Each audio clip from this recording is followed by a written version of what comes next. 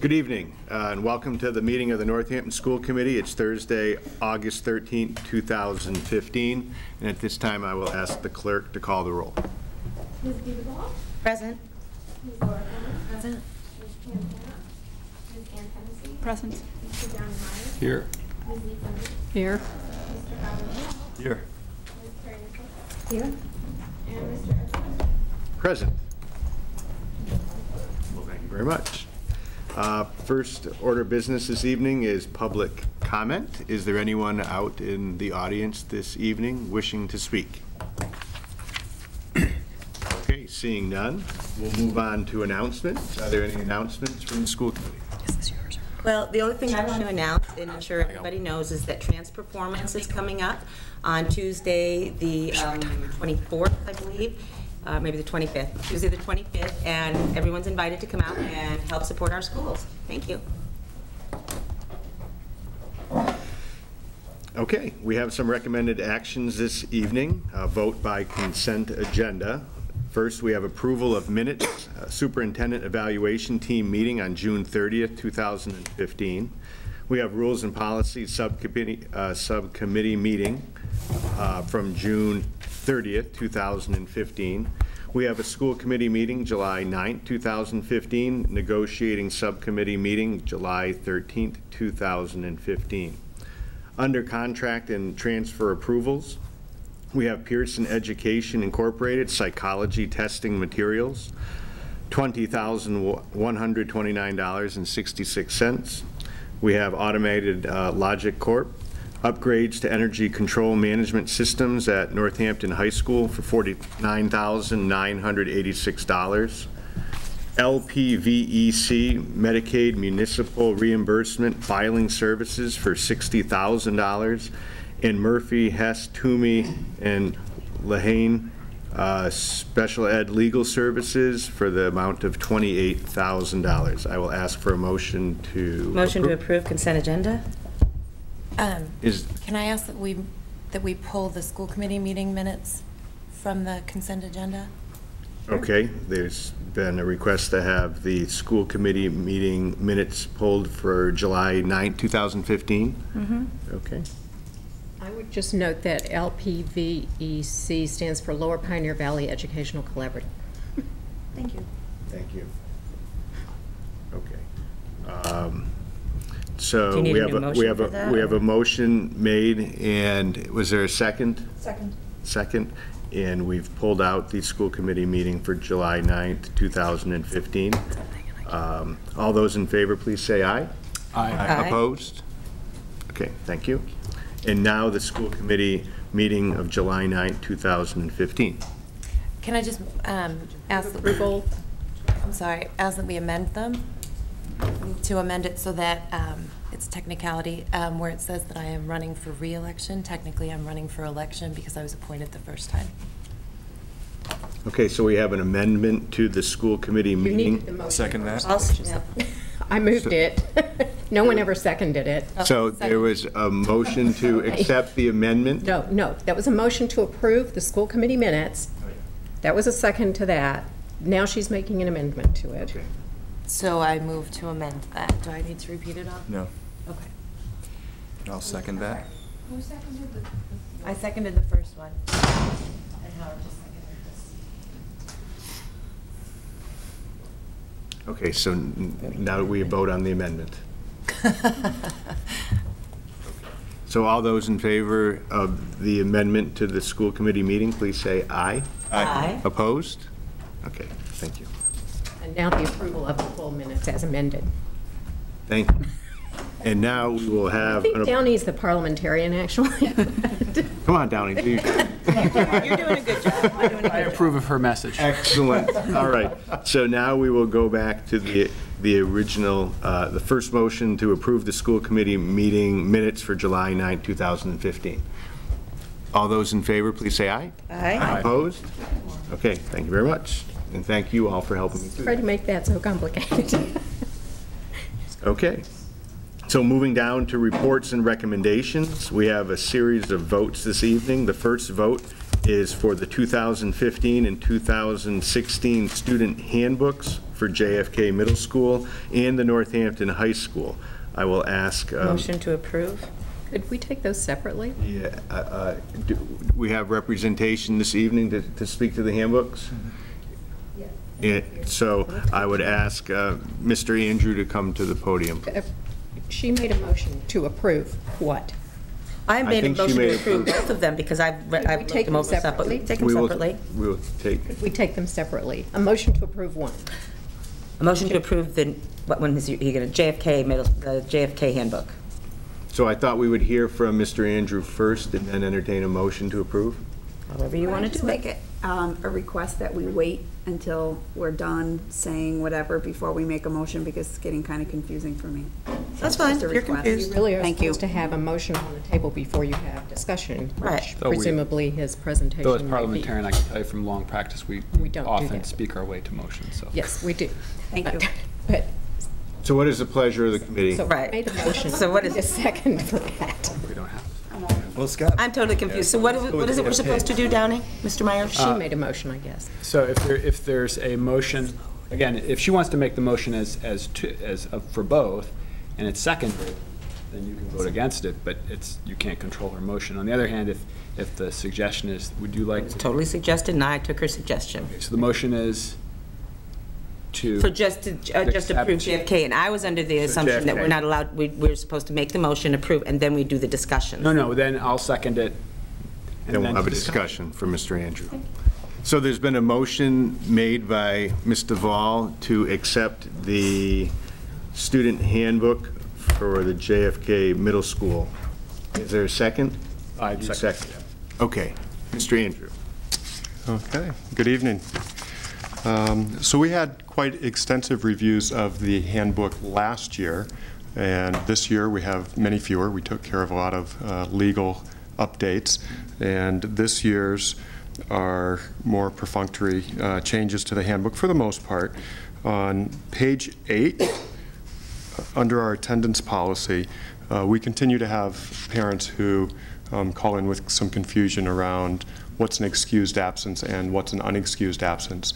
So uh, our school council and, and uh, worked to clarify that language a little bit, and we bolded some and underlined some language here to make it more clear what's an, exactly is an excused absence.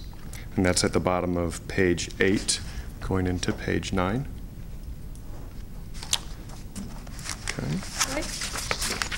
Question from Ms. Minnick. Um, First of all, thank you for doing that, because it ha, it, it is confusing for parents, and so I really appreciate the continued efforts to try and make it as clear as possible so that they know what they're doing and so that students understand.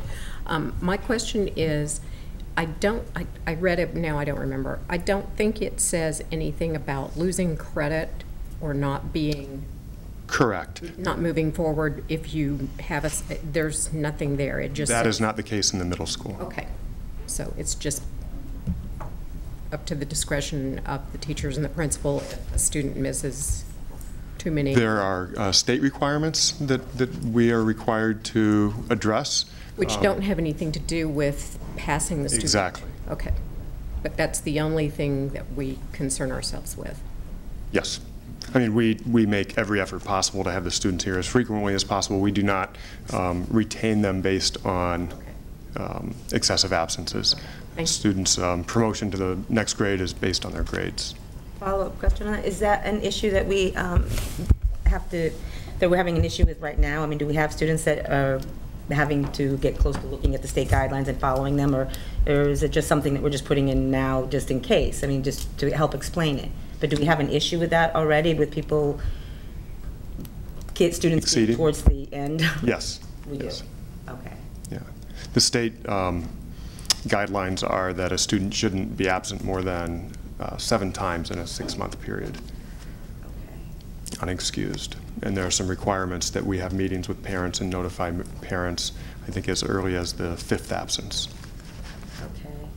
And when you say saying excused, I know some people who really don't think of school is all that important all the time. It's a family vacation. Is that part of the issues that we're having is family vacations? Or are we talking kids that have bona fide medical reasons not to be there that we're then going out and, and talking with? So what we clarified in the handbook is that uh, medical absences can be excused, but they require documentation from a medical professional. Um, We understand that students are going to you know, stay homesick with a sore throat or vomiting, and they may not go to the doctor every time. And there's a given uh, cushion, say, for that. It's when they become excessive by the state definition that we start asking for the documentation from the medical providers.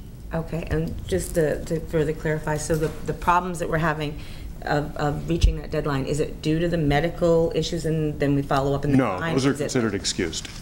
Okay. Okay. Thank you. I don't know, um, I'm assuming you read the high school handbook as well, the, um, the section that about the school council and how they're, who's on the school council, how they're elected to the school council. And I didn't see that in, in the handbook for the middle school. Is that something that I just missed, or is that? Let me, um, let me go through these changes first. And then it sounds like you're asking a question that's not related to this, this change regarding attendance? Oh, no, sorry. right? Okay. Um, So I'll, I'll finish going through the changes, um, and then I can address any questions about the handbook that you do have that, that weren't covered here. So the second change, um, on page nine, um, we did have some, some families that were going away on vacations um, and requesting work up front, and we just put a, a statement in the handbook that um, it should not be an expectation that teachers will provide in advance work that students will miss on a family vacation. Um, We really discourage family vacations during, uh, when school is in session, and, and we want to reinforce with parents that they can't always get all the work up front to do, take a vacation. Could you speak to whether or not there are teachers who do make the best effort to try to get work to students if asked, and there's adequate time for them to prepare it? Yeah, I think, I think some teachers are just, invest- well, all teachers are invested in, in the students keeping up and um, being caught up when they get back, making it so that it's the least disruptive possible. Sure. If a, if a family does decide to take a vacation, but we did want to make it clear that it's, it's not a professional obligation that a teacher has, and, and sometimes it might not be possible. Then on page 11, kind of a minor, very minor thing, ice cream used to be available in the cafeteria somehow. uh, We overlooked that as in previous handbook revisions, and we just removed the fact that um, we removed ice cream as a, something that was available in the cafeteria. My son was just talking about that with his brother, who will be matriculating to JFK, about the desserts. No longer available. And That's an. What actually brought our attention to it is a a student asked, why is it in the handbook? Get it. If it's not At least they're available. reading And I said, carefully. I'm going to make a note. Yeah, it was great. I said, that's awesome to see you're reading your handbook. So is this, this copy that we received th- with that change? Uh, Yes. Because it's still here in one place. Um, Under students are allowed to leave their seats to get lunch, milk, or ice cream. That, that's in the new handbook? It's the one, it's the copy that I got in the package, It's on page 11. It's in the the bullet points on behavior in the cafeteria. Which bullet point down? Uh, Like about four down. Page 11. Somebody's working to keep the ice cream in there. I, uh, Don't worry, you take it out of there, it'll show up in another paragraph. the paragraph. intention was to remove it from there. So you can go to So it, counselor it, when- thank you for pointing that out. It will, it Have a will be problem, removed. eat an ice cream. All right, moving ahead to page 20. Um, Under Code of Conduct Introduction, there was a lengthy sentence uh, referencing non-discrimination practices, and those are referenced other places in the handbook, and the school council just thought it wasn't uh, appropriate here. It was uh, a bit confusing as to why it was there, so that was removed. Um, and then, under guidelines, second paragraph, uh, that was reworded to make clear that behavioral expectations and potential consequences apply to all students on their way to and from sc- uh, school, not just students riding the bus. It was a bit uh, ambivalent previously. A bit am- ambiguous. Um, And then uh, we replaced vice principal with associate principal in several places in the book because that title was changed a couple years ago. And still on page 20, uh, last paragraph, we eliminated the sentence that students who are suspended during the week of school, a school-sponsored dance may not attend that dance. Uh, states elsewhere in the code of conduct that if a student has a suspension, they can't participate in extracurricular activities that day, and, and that seemed sufficient to us. On page 21, uh, the last paragraph, we referenced our uh, restorative practices being used in addition to or as an alternative to traditional uh, disciplinary consequences. I was trained in restorative practices last fall. The guidance counselors and a teacher participated in a restorative practices uh, training this summer with me again, and we're going to be introducing more teachers to that and hopefully uh, relying less on detentions and suspensions as we try and um, emphasize that we're a community, community based on relationships, and uh, supporting students in understanding the harm they might have done to another and repairing that harm rather than just having punitive consequences for students. It's been, it's been something we've done informally all along, but I, we're implementing it more formally now, and we wanted to acknowledge that in the handbook. On page 23, um, under the Code of Conduct, um, there are different sections of the Code of Conduct, and we moved inappropriate use of computers from the safe and orderly section, which it didn't really seem to fit in, into the academic integrity section. Page 24, there was a statement there as a um, unacceptable behavior that addressed unauthorized visitors trespassing, uh, members of the community who were here without authorization, and we thought that didn't really apply. This is a, hand, a student code of conduct. It didn't apply to members outside of the school. So that was removed. Page 25, we separated uh, unacceptable behaviors, uh, cheating and plagiarism, and stated the consequences for both in, in simpler language. And on page 26, this is something that was an oversight from previous revisions. Uh, it- um, Bullying and harassment was not in the list of behaviors for which a student could be suspended from riding the bus, so we put that in there. We had been engaging in that practice. um, uh, It was understood by everyone, but we needed it to be there explicitly. I have a question, um, bus riding.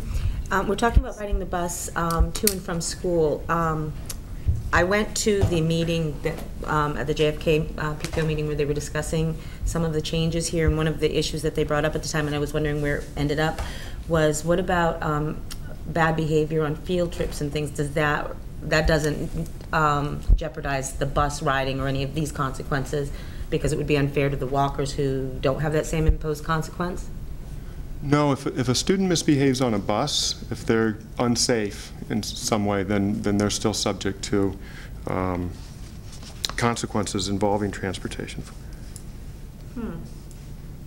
So what happens to the walkers then, when they're on a school trip? Because wouldn't that be unfair as far as the, um, punitively unfair? Because you can't, you're not technically denying, you're, technically you're denying somebody, um, the ability to get to and from school for the same behavior that somebody else does, and they're not abusing that portion of getting to and from school, which is what we're talking about. I see what you're saying. Um, I hadn't thought of it that way. I, I, I didn't participate in that PTO meeting. It- Wilson was the one who Okay. who brought that up, and, and there was an issue of, of clarification, and I understood exactly what she was saying, Mm-hmm. and I was just wondering if it was reflected anywhere in here. So in, in my two years, we haven't had to implement that as a consequence. Typic- Typically, uh, students are going to get warnings before they're denied transportation anyway. Um, And we address, um, we do things like restorative practice. If a student has done any damage on a bus, or if they've made a mess, they clean it up, or, or we address, um, suspending a student from the bus is not the first step. So we haven't had that issue come up, but I, I will certainly follow up with Ms. Wilson and- and find out. Yeah, um, thank you. How we would handle that if it did come up. Ms. Hennessy, then Ms. Minnick, and we'll go back to Ms. Fallon, who had a question earlier. Oh, okay, yeah. Later. Mine's on a different rule. In your, Mine's on this. I mean, if somebody misbehaves on the bus, on a field trip, doesn't that just count as misbehavior at a school-sponsored event, sort of? And that's what Ms. Wilson's point was. It's moving, but the bus is actually just the transportation as part of a field mm-hmm. Yeah. trip. So I mean, I think it's probably covered in the in- less in the transportation part and more in the Other consequences. event behavior, t- or But- just in general. as we're clarifying this, it, you know, just because of the very fact that we're discussing it, there seems to be a point that it needs to be put, I think, someplace in, just to be, just to make sure that people are, are, know that that's true. Because I agree with you, that's, that was what Ms. Wilson ultimately said, was that, you know, in order for equity, which is really important for everybody to have the same consequences, that they look at it as a school-sponsored event and the disciplines associated with that, as opposed to denying them the right to get to or from school. Unless, of course, the infractions happens on the bus as they are going to or from school. But if it's, a- I I see. Yeah, I'll follow up with Leslie on that. Thank you. Ms. Hennessy.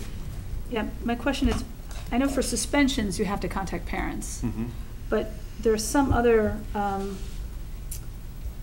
there are some other things here where you, ex- you're explicit about the consequence of contact parental notification, but not for plagiarism. What page are you on, I'm, please? I'm on 25. Well, I can't remember what it is. So for plagiarism, you don't have a teacher consequence, uh, parental notification, is that because, do you know? Um, It does say, uh, s- first offense, if, boy, I Oh, wonder. parents, Parents I'm sorry, I'm contacted, sorry, yeah. that's right, I did see that now. So for the, r- the others, I'm just wondering if, is it explicit enough that parental notification?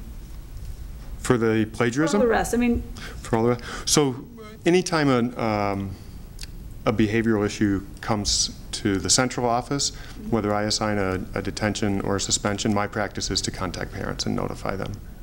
Right, I know, I know that. I'm just wondering if it needs to be explicit in the handbook so parents know that they will be contacted on all these things.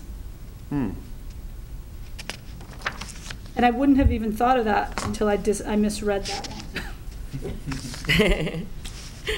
It's there. It might be just everyone assumes that they're gonna be contacted. Well, I think they'd be assuming that they'd be contacted if it's a suspension, you know, so then, and then if that's- not, does that it doesn't say any, it doesn't say it under any of the It tobacco only says it under, and drugs one? no, it says it under truancy, parental notification.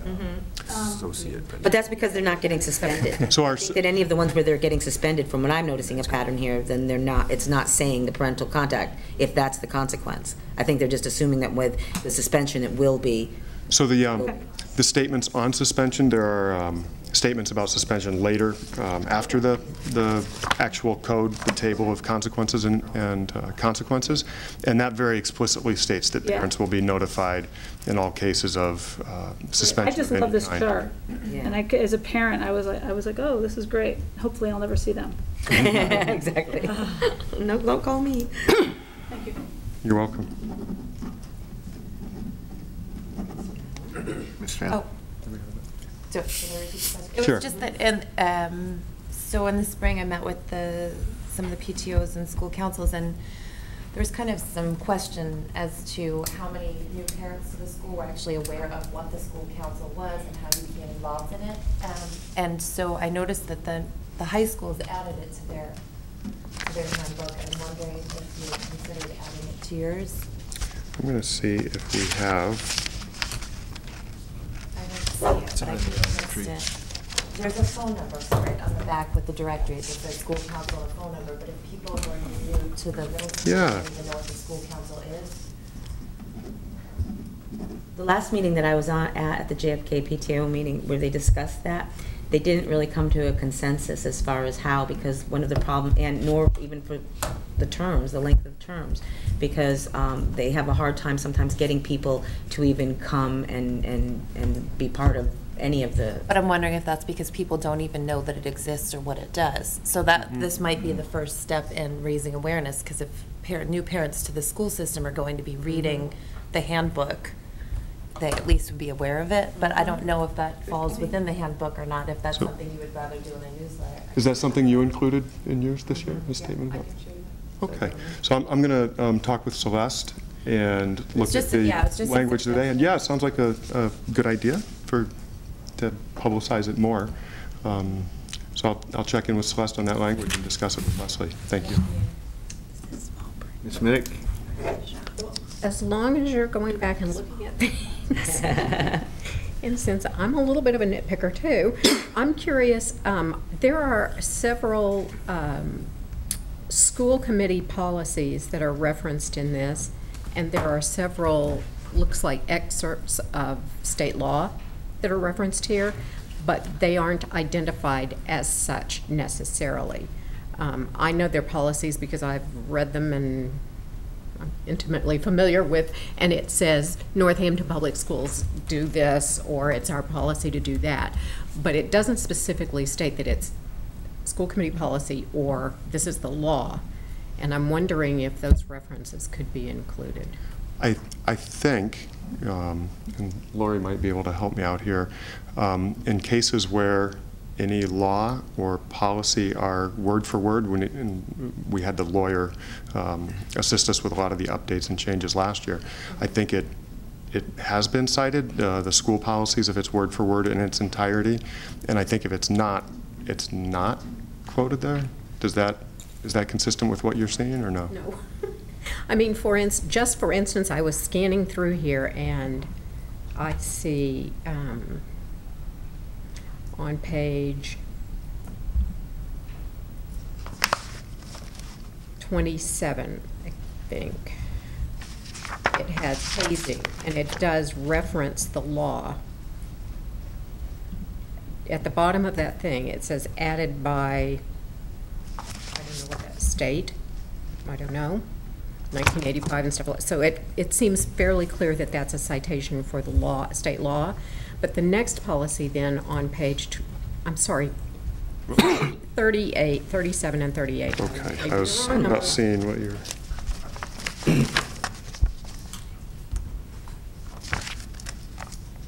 okay. Okay, so then on, on 38, sexual harassment policy, Mm-hmm, that's clearly one of the school committee's policies. Mm-hmm. But I think then on page 41, it, I, does that Fine. harassment Okay, policy go I'm all the sorry, way it to does. page 41 and then cite it there? Okay, then, s- okay, I, I apologize, so, Sorta. It still doesn't really say, that. Right. it it just says adoption date, which.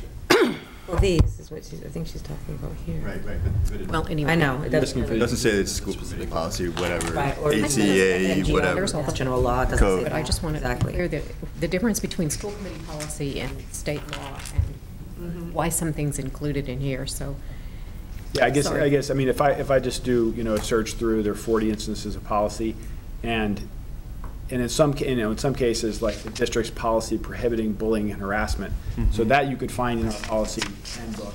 Right. I don't know, what- Lisa, whether you're uncomfortable with the, you know, when people see the word policy, small p, right, it could be the policy that all students shall be wear, shall wear shoes during cold weather, but that's not a school committee policy, capital P, so just, We, we very uh, explicitly try to avoid the, the word policy for that very reason.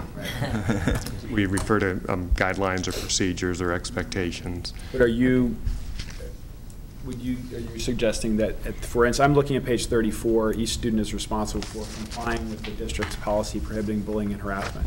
So I'm sure, I- I'm sure there's a, you know, B, E, E, C, you know, that is policy prohibiting bullying and harassment. I'm not, I don't know how much that adds, you know, unless they're, I'm not unless going to they're sit here, looking there. yeah, I'm not going to sit here and belabor the point. If somebody would just go through and see that if it's a law, that it lists what that, if, that there's a citation for it. And if it's a school committee policy that's being reprinted there, as long as it has the. Site. And it may be that, um, Downey asked me, did I want the letters? You know, we have a funny filing system that ha- our policies all have crazy alphabetical designators at the end of the policies. I don't know if that makes it clearer to people, probably not.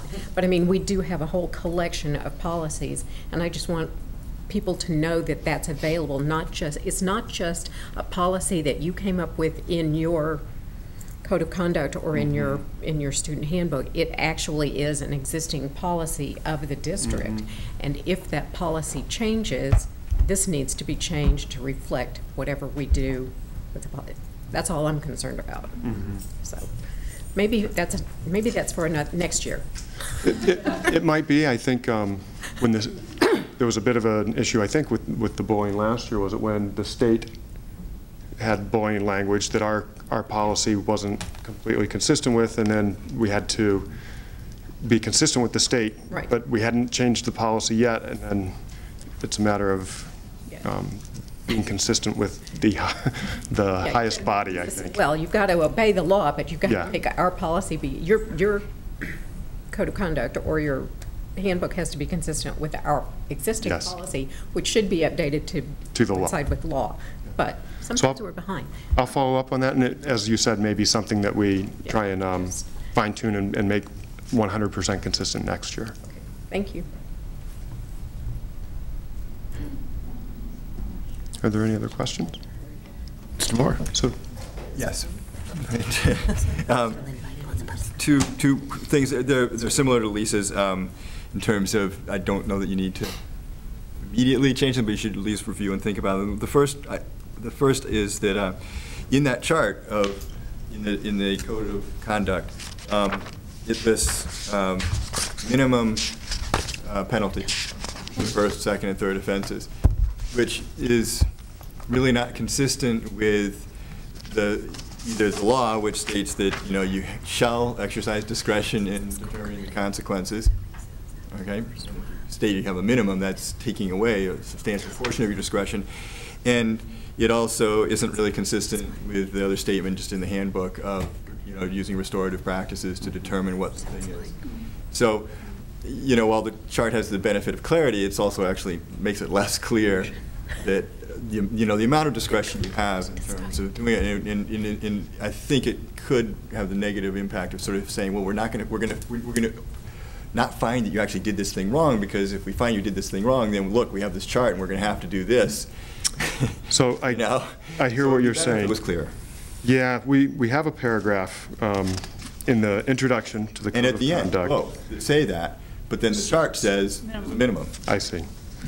So you're suggest, you're asking, should the chart eliminate the word minimum on there? Right, as opposed to, I mean, I understand what you're trying to do, is sort of ballpark it in terms of what the severity of the consequences will, you know, where you're sort of a starting point.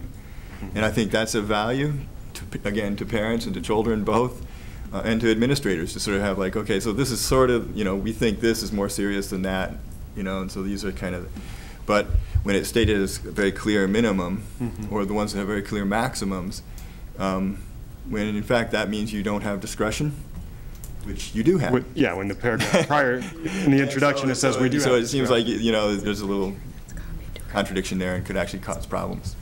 Okay. So that's the first. And then the second one is um, that in the glossary, um, I actually disagree with, but I think you should re-examine the definitions of gender and race and um, consider whether or not those are really the ones you want to publish.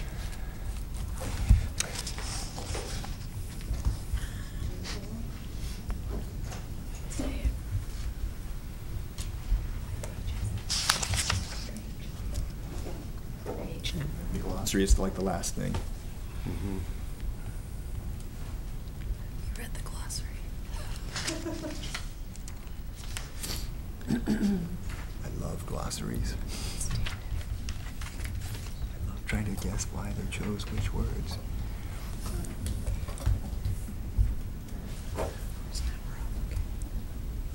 Okay. Thank you, Howard. And then there's one final change that uh, Lori just notified me of. Um, There are some new state regulations on uh, child restraint, and we are going to update our language in the handbook to be consistent with those new state regulations, which, and it's not written yet. Ms. Hennessy? Um, There's one other inconsistency, it's not a big deal, but page nine, under school work missed, says to contact the guidance counselor. Um, And then on page 53, under homework, it says to call after three absences, this homework number, which is great, but maybe the number could be on page nine. So add the phone number to call on page nine. No, the phone number's on page 53, it says after three missed, after three absences, um, to call this number, but on page nine, it says to contact the guidance counselor, Where are you on page nine? Under school work missed. Okay.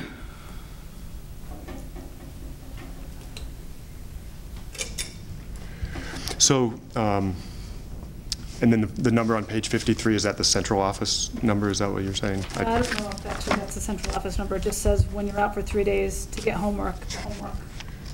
So we, we tell families, um, call the guidance counselor, or call the, the main office, and the main office oftentimes will, will, they much more consistently are available to pick up. So we give that number, we recommend calling the main office, and they will either um, locate the guidance counselor or get the guidance counselor a message, but it's, it's still going through the, the guidance counselor. Okay, so maybe putting that number there, though, on page nine then, would be great. It's two numbers, main office and then another number. Maybe that's the guidance office then. The guidance office is the same number, though. Yeah, the main, Here, that goes through the. because main everything has to go through there and then gets dispersed to, to wherever it goes to. Okay. Oh, So those two numbers are the two main office. numbers. Right. If your kid goes in. I call it all the time.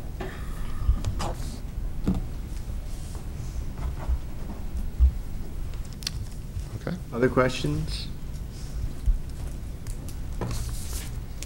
Okay, so someone help me with this. We've got a motion that's been made and seconded. We have asked uh, Mr. Andrew to go back and make some changes. Ooh. Are are we at a point of voting to accept? Do we have him come back next month with the changes for another revision? We actually have to send it to press before, uh, within the next couple of weeks. Well, I have one more thing, uh, the discussion, I'm sorry, I didn't notice until right now. It goes back to what Howard brought up about gender and then also approving this. And gender, as it's defined, is a person's sex with so many new things that are coming out right now, um, and the law and the policies, um, I'm thinking that, I'm hoping that that will be addressed before it goes out to the press, that one especially, because I don't think that To get a better de- definition Defi- A definition that, that is real. I mean, yeah. From I wonder if I might offer a comment that could be helpful at this point. Superintendent. Remember that the clarification that we received last year was that the role of the school committee in reviewing the handbooks is to ensure that there are no conflicts with existing policies. Right. So I think the question um, that the committee should consider when determining whether or not to approve the book is whether there are any um, conflicts that are so defective that they prevent the book from going forward. Okay, well, then I'll amend that, but I really, really, really, really hope that you deal with the gender We'll issue a- as far as that, because I think that it's important, especially with, the- with, you know, what's happening right now in our climate, our cultural climate. I think that needs to be, Absolutely. We'll get a, a definition for gender from our lawyer. okay, thanks. It's consistent with the, the new laws. Ms. Minnick? So with what the superintendent just said in mind, I think actually that the motion we had was to approve the handbook to the extent that it's not in violation of our policies. And I think that everything else we've just said was suggestions for how they might make it clearer. Next mm-hmm. year. So I think we can go ahead and have a vote on the motion as it exists. Great. So we've had a motion made and seconded to accept the handbook for the JFK Middle School. All those in favor, please say aye. Aye, Opposed? Thank you very much. All right, thank you very much for your feedback. thank you.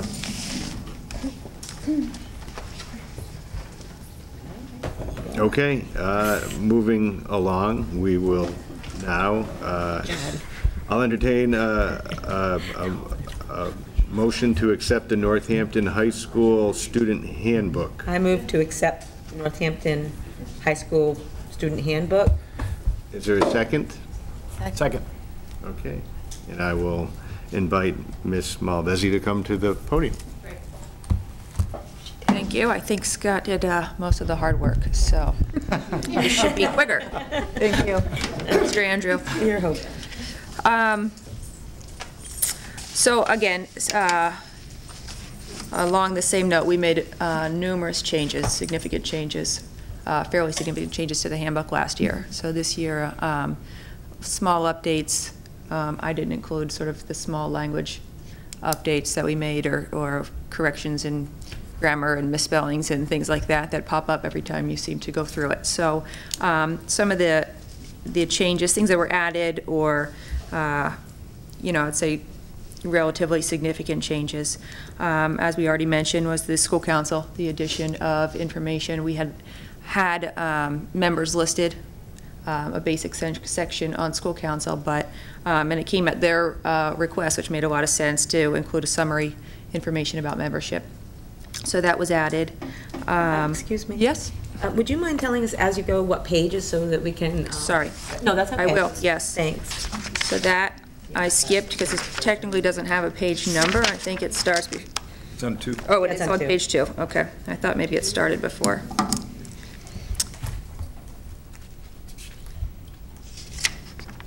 Um, And then, moving on to page six, there's just a brief section added um, under academic information with some uh, basics about after-school help.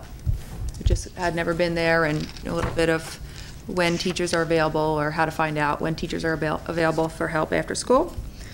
Um, It came to my attention uh, also that the grade scale, I, I'm not sure for how long back, was printed inaccurately in the handbook, so that was just cleaned up. Um, It'd been printed accurately in our program of studies, um, which I think in- when people are referencing this type of information, that's often the first place that they go to, so, um, but anyway, uh, I made the amendments to that. It was, uh, the changes were from like the D, the D range down, I think. Uh, The next big change, and there were some questions before we started, um, about Lens 21. And so uh, I did pass around a letter um, that's going out to families next week um, that Mr. Lombardi put together. And basically, um, Lens 21 is a program that is really going to be replacing our advisory program. And, um, you know, there's always a lot of talk about advisory, the benefits of advisory, drawbacks, how to make an advisory program be really effective, um, and use the time uh, effectively to accomplish its, its goals. Um, So, you know, when advisory started, I believe there was a grant that helped fund that, and so there was curriculum developed. Um, But over time, sort of that curriculum gets outdated. Without funding, um, it's hard to still meet the expectations or the original expectations of the program. Um, And so we, you know, we started taking a look at it last year, and we, you know, we sort of fumbled and, and put it, kept in place what we had the year before, but really, we're looking to make a shift uh, for this upcoming school year. So, um, people got together, one of the big things was um, the realization that the, that the, uh, the requirements for NEASC around advisory programs changed a little bit, and, and really most people were developing advisories um, due to NEASC uh, recommendations. Um, To not only seek a process where students were connected to an adult other than, you know, their guidance counselors in the building, because that was certainly one of the four um, most reasons that people were implementing advisories, is to make sure students were connected to an adult in the building. Um, But also uh, to assist students in learning, achieving the core values and learning expectations of the high school. And so, um, you know, in the high school, we're really fortunate that um, many students are connected to their teachers in the building. It's, they have a really fabulous way of connecting with students. That's not to say, of course, that all, all students have a relationship with an adult in a building. That's um, something that we're always going to be striving for. But um, I think not so certain that the advisory program itself was what was creating that, um, nor was it sort of bridging that gap for the students who didn't have that strong connection. Um, So this new program in focusing on the learning expectations, this is a pilot year. Um, We're focusing on two of our expectations uh, this coming year, communication and collaboration. And it's going to focus, the focus will be in the first period classes of, um, of each semester. So those first period teachers in their class that they see every day um, will be sort of implementing this and sort of focusing, there'll be rubrics that they'll know, uh, that they'll get in advance, and be focusing on those skills um, and assessing those, providing feedback. Um, And so as we go down, you'll see too that there's a, uh, a change in, that we're not issuing progress reports, uh, typical progress reports as we have in the past, but uh, families will get um, progress reports, types of reports on progress towards meeting these expectations, and those will happen in week seven and 14 of each semester instead of the typical progress report. So I'm not going to go into detail about everything else, but I thought that was something new, and if anyone has any questions about that specifically? The letter does a pretty good job, better than I did probably. Okay. Um, Okay, then moving on to page nine. Scheduling. Um, Again, a little bit different language that was printed in our program of studies, so I aligned those two. And um, I noticed that there had been nothing in our handbook around uh, Ws for withdrawals. So when students withdraw from a class, sort of past that uh, grace period of the add drop period, um, that they would get a withdrawal um, for the grade, uh, as a final grade uh, and on their transcript. Um, Again, the tracking academic progress, that's a new section, but that really com- combines the online grade availability and the report card and progress report section. So getting rid of those traditional uh, progress reports and then adding the expectation that teachers are also posting assignments, not just grades on Aspen. Because we wanted to make sure that families were still able to get that kind of information and not, uh, since we weren't sending home progress reports uh, or report cards as frequently. Um, Dismissals from school, page 11. Uh, That's just a procedure, we added more detail about procedures for students signing out of the building. So in the past, if a student was being dismissed early from school, they would go to the office in the morning, they would get a pass, um, you know, or, or some information to say, would go into the computer, into Aspen, to say students being dismissed at such and such time, but there was never uh, the expectation that they would come back to the office to sign out at that time. And so in terms of accountability, felt it was important to make sure that we close that loop so that we know that they actually did leave or what time they left. Um, So we just added some steps to that procedure. Uh, Page 13, a small section on elevator use, just to help, again, uh, formalize sort of how students get access to elevator keys, helps us track them, uh, hopefully not lose um, or have to replace them. Um, The school council had made a request that we add information about our new safety, security upgrades, the buzzer, um, some information about our drills. Um, So what I did, I I just sort of tried to summarize some of that stuff. I had, I put in my note here that I was hesitant to put specific details um, or anything more specific than I did in terms of our security procedures. Um, But I did think it was important to add, uh, add to that. Uh, So I did add a section on that. And um, I also, later on, will see that there's a, a visitor procedure section that was added. So what the expectation is, the buzzer, where visitors are supposed to go. And so I think that sort of covered a little bit of what they were looking for as well. Uh, Page 15, I added a section on the rights of the 18-year-old. So again, that's, um, you know, that's nothing new, but it didn't have a, an adequate section in the handbook and sort of tried to formalize, again, a procedure for how that works. You know, a, a paper that they sign. So I did a little bit of paperwork around that documentation. Um, That's ready to go in the office for this year. Oh, there's, uh, page 16 was that little blurb on the visitor procedures. Um, Moving to uh, page 21. And uh, the change here is, um, there was a request from the school council to add some information about clubs, um, where to get information, how to start a club, how to join a club.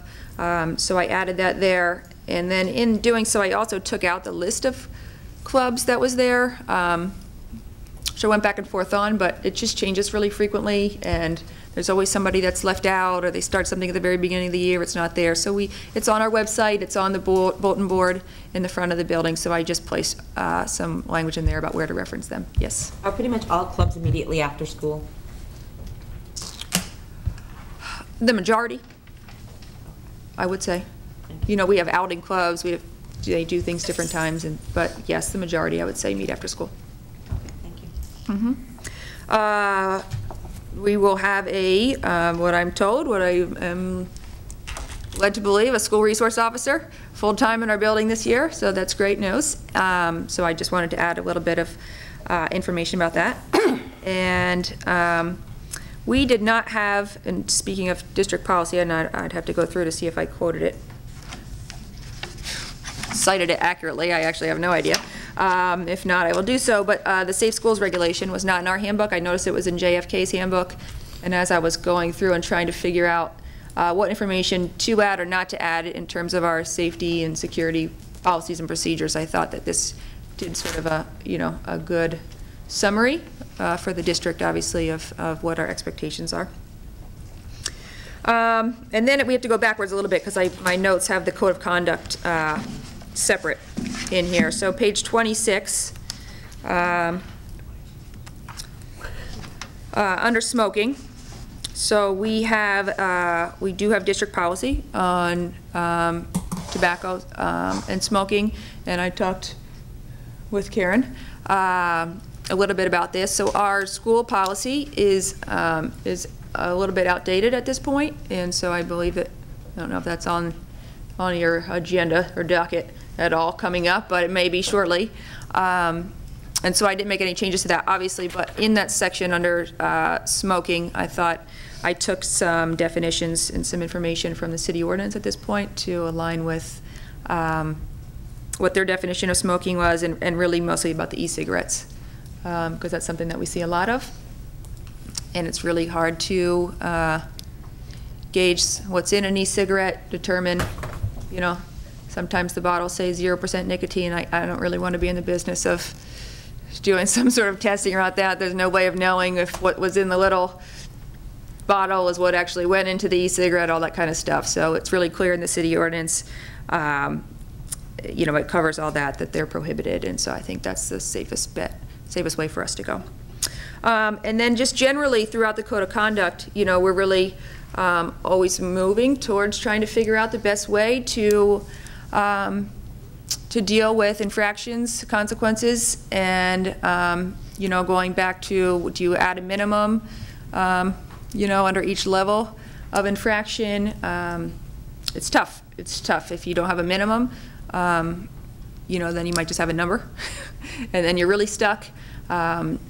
And we want discretion, you know, we want people to know how serious some, uh, some issues of conduct are compared to others. Uh, So one of the, the first steps, you know, it's something I really will continue to talk with school council about um, in moving forward with the code of conduct, but one of the uh, general changes that I made is that where, anywhere it's said in the code of conduct, um, as a consequence, a suspension, if it said an in-school suspension or an external suspension, I changed the language to say suspension at that point. So that gives us, especially with the new law, a lot more discretion around what type of suspension, and some, maybe some combination of the two, you know? So if something is typically a five-day out-of-school suspension, it might make more sense to say, you know, you need to be out the next two days, and then the following three, you know, let's have you in-house and get your work done, and so we can oversee that. I, I mean, there's a number of different uh, ways it can be looked at, it just gives more discretion. Go ahead. Well, I, I'm just thinking of consistency here. Um, Mhm. number forty-five, you have smoking on a bus has a different offense than smoking in general. Um, and I would think that that would be on any sc- school facility. and I think it's considered to be part of the school. I'll have to look, because you know what, I didn't really, uh, Because the Spend smoking, as much number about- 15 on page 26 for everybody Yep. else. Um, It, it states that um, the minimum first offense is a minimum one-day suspension. However, up to, where did it go to? so I would say that they, they go hand in hand. So if you're smoking on the bus, you're also smoking, and, and so you might get hit twice, and so it's the, if you're smoking on the bus, you might be getting the, the, uh, you know, the discipline for smoking in and of itself, and you also might be suspended from the bus. Is there any way to put those, I mean, at least so that if somebody, if I were reading it and I'd say, oh, I'm smoking on a bus, oh, I'm not going to take the bus for two weeks, not knowing that I'd also be incurring the smoking, you know. So just like a Just a sec, you know, just Also a- in parentheses. falls under, yep. However, you know, but just to say you also couldn't, in, in, you know, get the other ones against you too. And it would be a minimum one-day suspension if that's the case. I mean, if you're actually going to combine them both. So that's why I was wondering about that. We'd probably, we'd probably uh, count that one day as part of the two-week suspension, though. Oh, two-week denial of transportation, yeah. We're not all bad, you know? Oh, not at all. But it's always best to know the. Yes, no, of they're doing course. up Right up Yes. front. And if they're in Yep. two different sections, then it leaves room for, Yep. you know, discussion. Uh, Yeah, great. Any other questions about those?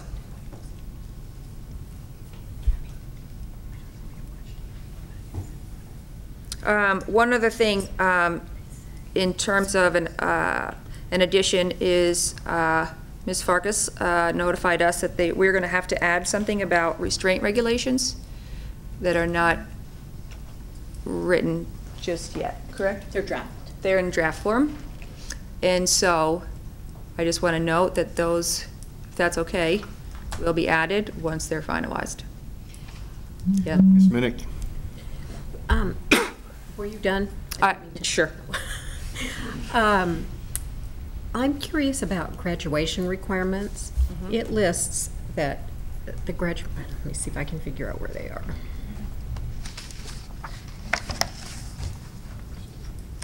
It's like page six or seven, I think. Yeah, it's towards the front. Seven. Yes. It says that wellness, Mm-hmm. that, that there's a requirement for one wellness course. And I thought we just had some changes to that, but maybe what you've listed as graduation requirements are what's for this year's seniors, and you'll change the requirements for next year's? So it's my understanding that with this incoming class, so that this requirement here should cover everyone who will be in the high school next We year. only, re- everyone that'll be in the high school next year, we're only requiring one wellness class for freshmen that are. I thought it was the, That's correct. Yeah. the class of Changed the 20, policy. yeah. Students had already selected their classes for this year. Mm-hmm. So the policy of four consecutive years of PE or health it goes into effect for the incoming freshmen following year. But it go- But it, uh, it says graduation requirements, So, and which sounds like if I'm a sophomore and I look at that and go, okay, this is what I have to do, aren't sophomores going to be required, it- it- this year's sophomores, are they not required to take more than one wellness class no, to get out? no, because the policy goes into effect with next year's, not this September, but September of 2016 freshmen. So those are the only ones that will have That class and every other class after that. after that. Mm-hmm. So then next year's book will have to show graduation requirements for students in these years Right. and then. That's right. Okay, got it, thank you. Ms. DeValle? I had a question going back to what you were just referring to about the restraining, the restraining policy. Yeah. And going back to what the superintendent said, that as long as the policies and what we see in the handbooks don't go against our existing policies. So I was wondering, since um, Lori Farkas is working on it, or when I, I mean, where she's getting the policy from. So if we are just going to blindly vote on something, that to know where it came from, if- is it coming from like the state general law, is it coming from, or Massachusetts general law, or is it coming from, you know, a policy that we have, or what? So I defer. So the, the regulations exist now, um, and the regulations um, have come out recently, um, and they actually don't go into effect until January 1st, 2016, but the state is recommending that districts develop policies and procedures to begin in September, to begin um, carrying out these regulations starting in, in September. So there's some leeway, but, um, so we have a set of recommended policies and procedures that are draft that came from Mur- Murphy, Hesse, Toomey, and Lehane, And um, a team of us will be working with those recommended um, procedures to, to examine them in light of the regulations, and then make recommendations to the superintendent to bring back to the school committee. So we're not going to be approving the book today then? um, Well- Without it in it, or are you talking about having that These- further, or? So much of it is procedural or regulatory. So the policy piece will reflect, ultimately will reflect the procedures. So we will have some mention of procedures in here because that's mostly what's going to be relevant for parents.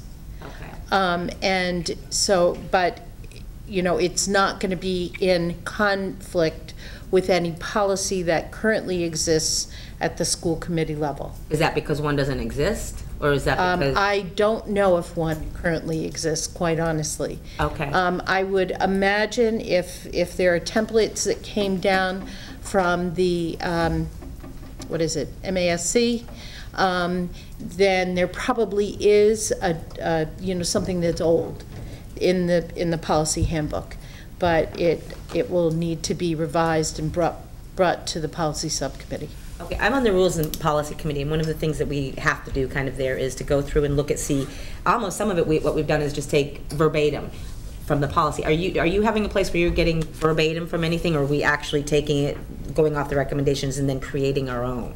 Or we actually have like. So we have recommended policy language from Murphy, Hesse, Toomey, and Lehane.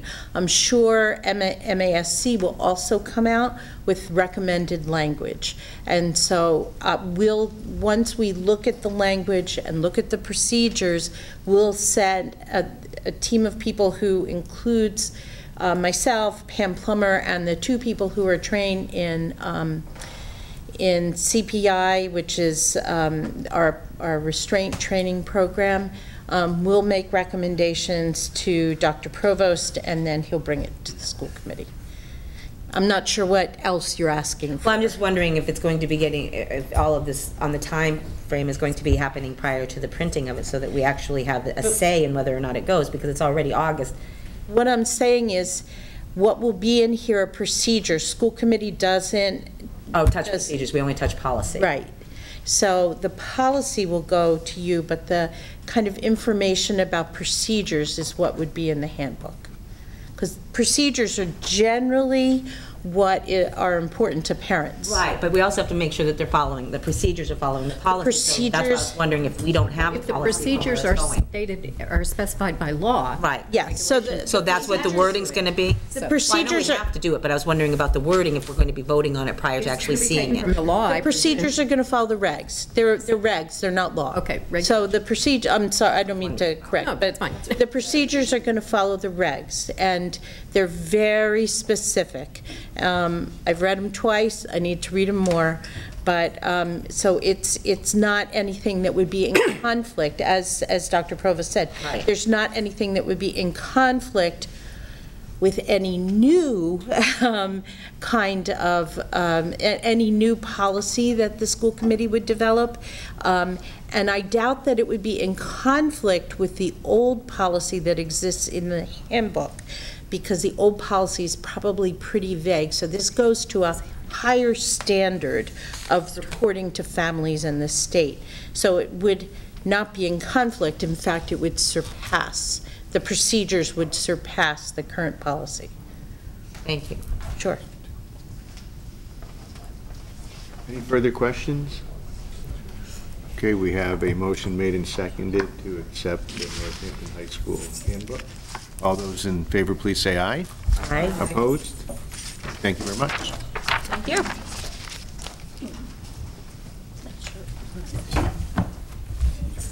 Okay, um, next up, we have a series of votes on job descriptions.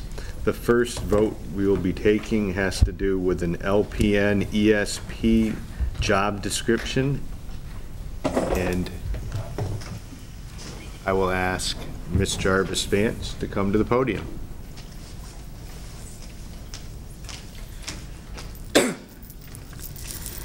So you want me to just give a brief description of what it is that we're proposing, I suppose?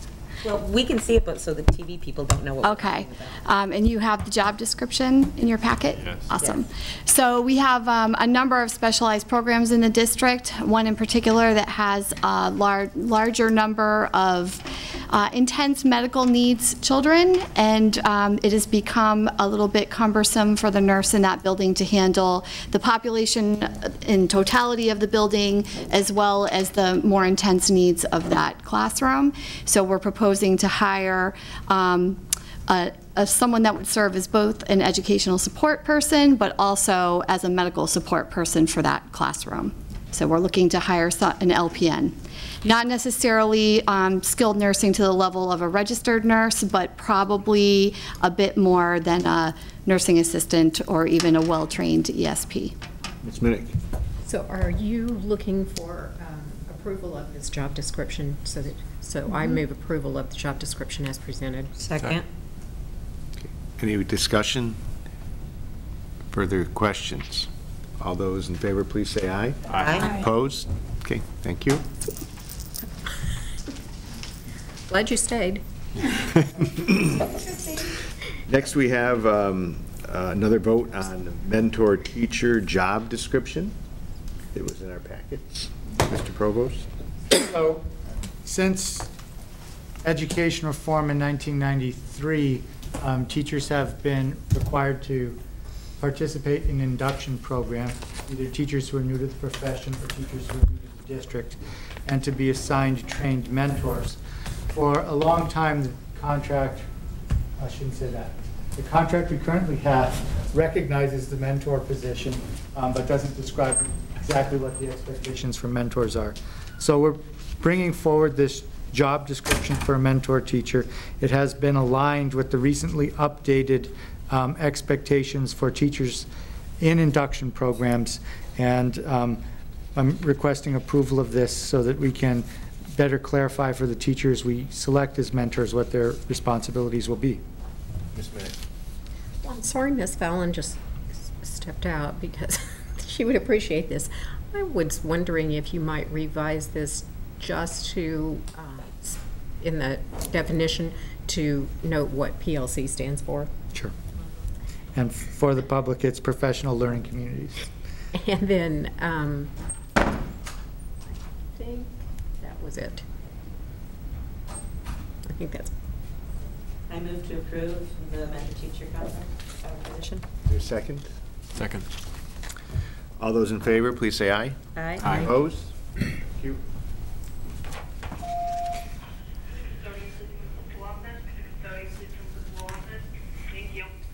Okay, next up is uh, a vote on instrumental coach job. Instructional. Instructional. I don't know why I was thinking music, but, yes, we're looking for an instructional coach job description. So with this job description, we're trying to codify practice that's been in the district, uh, although not formally recognized by the contract. Every building has one or more teachers identified as instructional coaches, um, and their role has been to work with new teachers or teachers who are struggling with specific methods to try to help them improve their practice. Um, One of the issues is that um, there is no rate for instructional coaches, but we resolved that um, through the last negotiating session with a generic rate of $25 per hour. So at this time, we're able to bring that forward. Also, um, Nancy Cheevers has created a structure um, for what coaching should look like. Um, It as it stands right now, um, there's really no guidance for coaches on how many um, times they're supposed to meet with teachers who they're trying to coach. There's no supervision of coaching. There's no structure for coaches to, um, to receive support. So you'll see in this job description that um, the expectations are laid out, that they'll participate in seven monthly coach leadership meetings, that they'll facilitate seven monthly grade level department meetings after school, that they will observe and provide feedback to the teachers that they're coaching.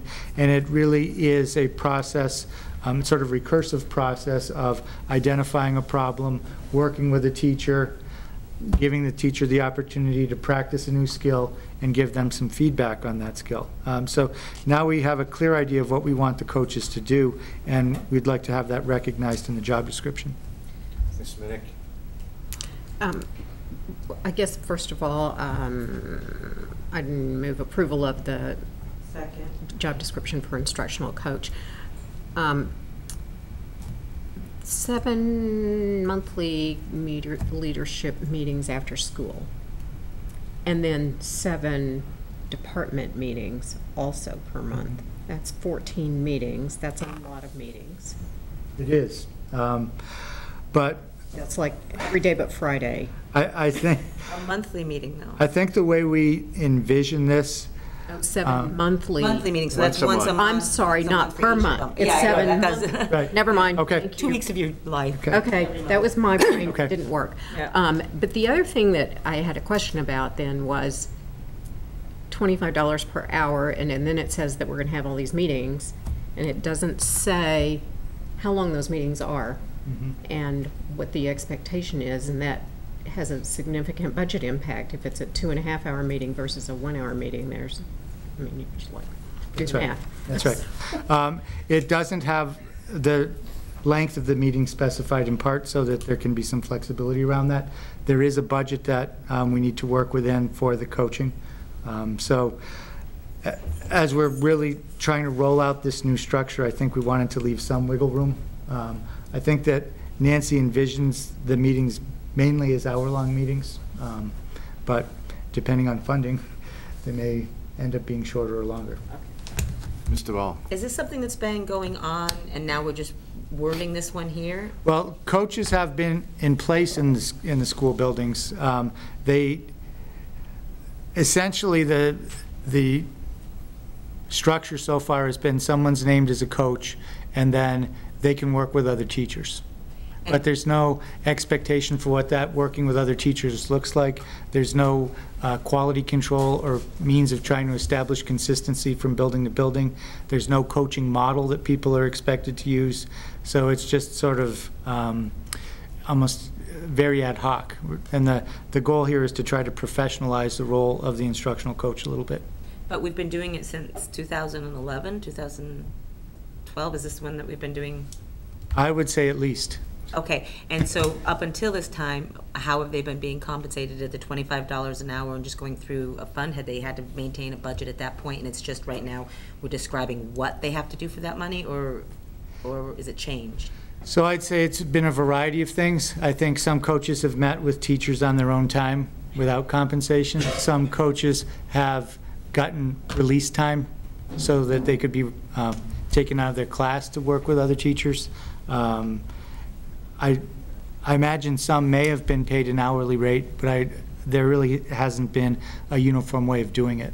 And, and then to follow up on this, who, is it each building then that's responsible for the instructional coaches within that building? I mean, like, would, would the principal at the building be the one, who oversees this? The direct, the director of curriculum and assessment would be overseeing them all. Okay, and who oversees it in the building, or is it, or does it Well, the- not happen there? The principal is responsible for appointments within a building. So they would be identifying uh, promising candidates, but then the actual supervision of the coaches would be under the Director of Curriculum and Assessment. And in the past, when we've had this, have we had any problems getting people to be the coaches? We haven't had any problems with them um, being coaches. We've had problems with them actually doing coaching. Uh, Because there's, Guidelines. right, there's, Yeah. there's no model for them to follow. Right. Ms. Hennessy? I have three questions. The first is, um, how many are there? Will there be? Like, Uh, I think that's a matter that's sort of subject to funding. My, Okay. I think Nancy's goal is to have at least one in each building. okay. Um, The 24 hour, $24 per hour is after school? 25. $25, what did I say? Yes, it's, it's outside of the, the Outside. DB day. So the coaching within the day is not going to be considered part of our, and then have you considered doing, kind of looking at and saying for a maximum of X hours? I- I'm more comfortable with that personally. Not to exceed. But it has to Not be in the exceed. budget, though, so doesn't that Right, already? but there's a way we could reflect say, you know, it can't be 100 hours or Mhm. 5,000 hours. So I could, that? Right. what I could do is talk to Nancy and get back to you with a recommended cap. Yeah. Is it a cap per person or per building? Because if one building has two people doing 10 hours each and another building has one, uh, one. Job The job description is- per, Oh, so per person. describing the job The job. that someone is going to do, each But person. you see what I'm saying, though? Yeah, yeah. If one building has one person doing that job and another one, they split it between two people, wouldn't the limit be different if you're going by budget? I would Can they imagine split that they that would, job? You know, could that they someone would, do twice as much work? but I would imagine they would only need two if there was enough to have to do twice the work. Do you know what I'm saying? Like if ten hours needed to be done, then they would maybe appoint two people, whereas if five hours needed to be done, they would only appoint one. I would just say as a general rule of thumb, if you put something in a job description, you need to abide by it, because then you get into situations of disparate treatment of employees. Ms. Minnick? Okay, here's a really nebulous one. Um, Is there any way to evaluate the efficacy of this program? Having, having coaches? I mean, is there any way to test whether new teachers are doing better because of having a coach? Well, there's the Or feedback, whether a coach is doing a good job? there's the feedback they receive from the coach, which should be indicating to the teacher whether or not they're becoming more skilled at the practice they're trying to learn. Um, We've been careful in the description of the instructional coach that it's non-evaluative, so the coaches will not be um, contributing ratings for the teacher in terms of their final evaluation, but it should be clear from the feedback they receive that either they're making progress or they're not. Um, So then the question becomes, if you have one teacher who's not making progress, maybe there's something about that teacher that's not allowing them to make progress.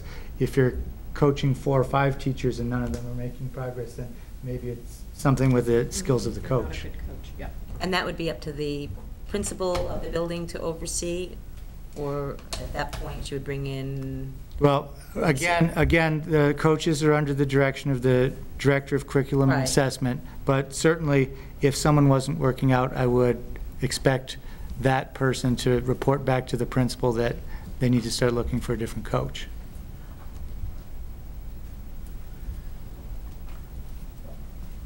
Other questions? I'm just thinking that the principals at the building would be the first to notice if something wasn't working out. That's the only reason I was wondering, if Mhm. you know, where, where they were at at that. Nope. Okay, there's been a motion made and seconded. All those in favor, please say aye. Aye? Opposed? Okay. Lastly, we have uh, a vote on Professional Development Committee member job description. So this is a job which exists within the current contract. Again, it's another one of the jobs that does not have any guidelines or specifications. So this job description explains what the expectations for professional development committee members will be. Um, It also involves a specific number of monthly meetings. This one doesn't have the same kind of budgetary implications as the last one because the rate in the contract is a flat rate, um, regardless of the number of um, meetings attended. So our um, plan with this is to say, if you want to be on the Professional Development Committee, we expect you to commit to 10 monthly meetings. The rate is $350. If that's not acceptable to you, then we'll look for someone else. Um, But the, the goal here, you can see many of the pieces of the job description are taken directly from the collective bargaining agreement. Um, But the role here, again, is to clarify exactly what the expectations are for members of the PD committee. The PD committee was really only formed this year, even though that language, I believe, has been in the contract for a while. Um, And so we probably should have done this before forming the committee, but seeing it in the contract was compelling reason enough for us to go ahead and get it started. Uh, But now I think we've reached a point where we need a job description. I'd like to make a motion to um, approve this job description for the Joint Professional Development Committee member. Is there a second? Second. And did you have a question, Ms. Smithing? Uh, what- What's the typical length of a professional development committee meeting? Um, I have never attended one, so I can't answer um, definitively. I can tell you that I've um, processed some of these with the Director of Curriculum and Assessment, um, and I know they can be lengthy. My, eh, my concern was simply, and I realize that a lot of this is already negotiated and we can't change it, but three hundred and fifty dollars divided by ten meetings is thirty-five dollars. If those are, if those are hour-long meetings, then they're just making ten dollars more an hour than the instructional coach that may have multiple teachers that mm-hmm. they're mentoring. But again, assuming, assuming that they do no work except sitting in the meeting, which is not realistic. I mean, they're going to be reviewing documents, they're going to be, Okay. you know, operating on proposals. I don't so- know, so I. But on that, I'm wouldn't the other, wouldn't the coaching position also be doing all of these things Absolutely. to be able to, I mean, so. Absolutely, but they're, And I- but they're negoti, but again, they were negotiated as, as separate categories. One was, you know, one is a a clearly defined committee that's gonna operate throughout the year and has a a perpetual life in the district because it continue to do work. The other is as needed, you know, and as allowed by budget. And so that's why I think the decision was made between the association and, and the school committee to do it on an hourly basis, because those things may vary very widely. I mean, we would hope that we have this committee fully staffed every year, um, but then again, the teacher coaches is something that would expand when we have funds, but may have to be cut back when we don't. I mean, this is just, also, if you look at the composition of the committee, it's a fairly good-sized committee, and everybody on it is making this compensation, so I'm. No, because half of the members are administrators, so they're not uh, Ah. eligible for hourly stipends. Good point. Work them harder. Do these, do these candidates also participate in the professional development activity days, like being part of the presentation team? Many of them lead sessions, but you don't have to be a member of the PD committee in order to present professional development within the district. Would, a- would a, would a, um, would a person get additional uh, compensation for being a leader in a PD workshop? Yes, the contract allows, interestingly enough, $28 an hour for preparation for leading a PD session and nothing for presenting the PD session. I think the rationale there is that you're already on the clock for the PD day, um, so it's a way to compensate them for all the preparation that goes into getting ready to do the PD. I have a question as far as just the history. Uh, Is, is this a new position? Is it one that they've already been doing and just another one that we're describing and defining now? Well, it's, this, the committee has been in the contract for I don't know how long, um, certainly for as long as the existing contract um, has been there. We, the, the committee was, as far as I can tell, defunct um, as of July 1, 2014. So we revived the, the process this year. Um, But we were doing it all without a job description. We were sort of figuring it out as we were going along, and I think now we're at the point where we're able to really define what it is that we expect of teachers who serve on the PD committee. So what is it that they're, they're expected to do? I mean, this committee gets together, they're expected to discuss the direction of professional development in the schools, to discuss how it's already gone. I mean, when they actually get together, what's their meeting? What are they going to be doing?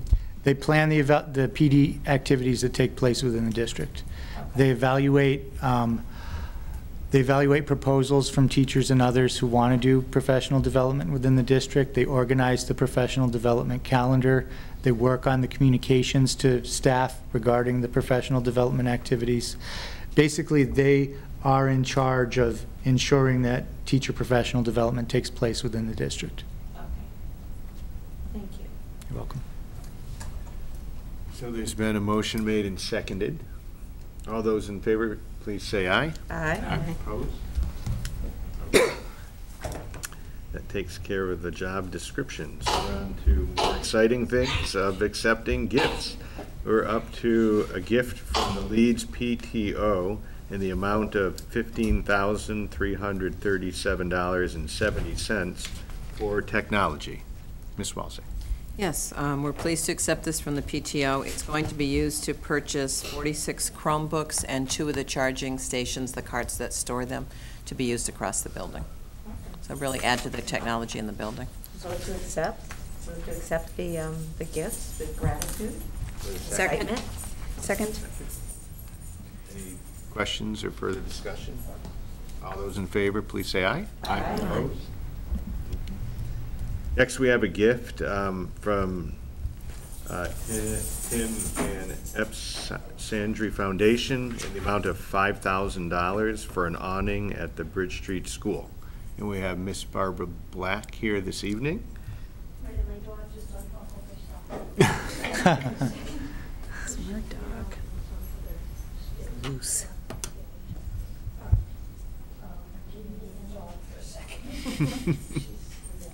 All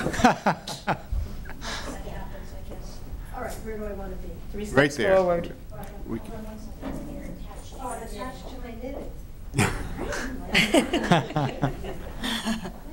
Thank you.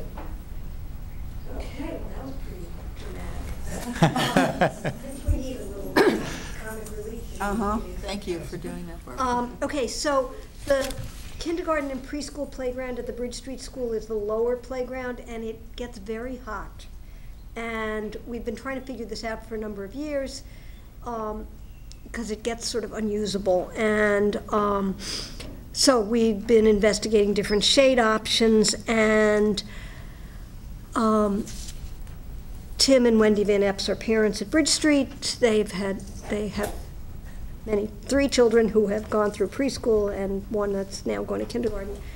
And they said they would help us um, put up an awning or some kind of shade sail. And we looked at various options and um, were, met with um, Tony Kuznier's, and um, basically everyone decided that an awning would be the best thing.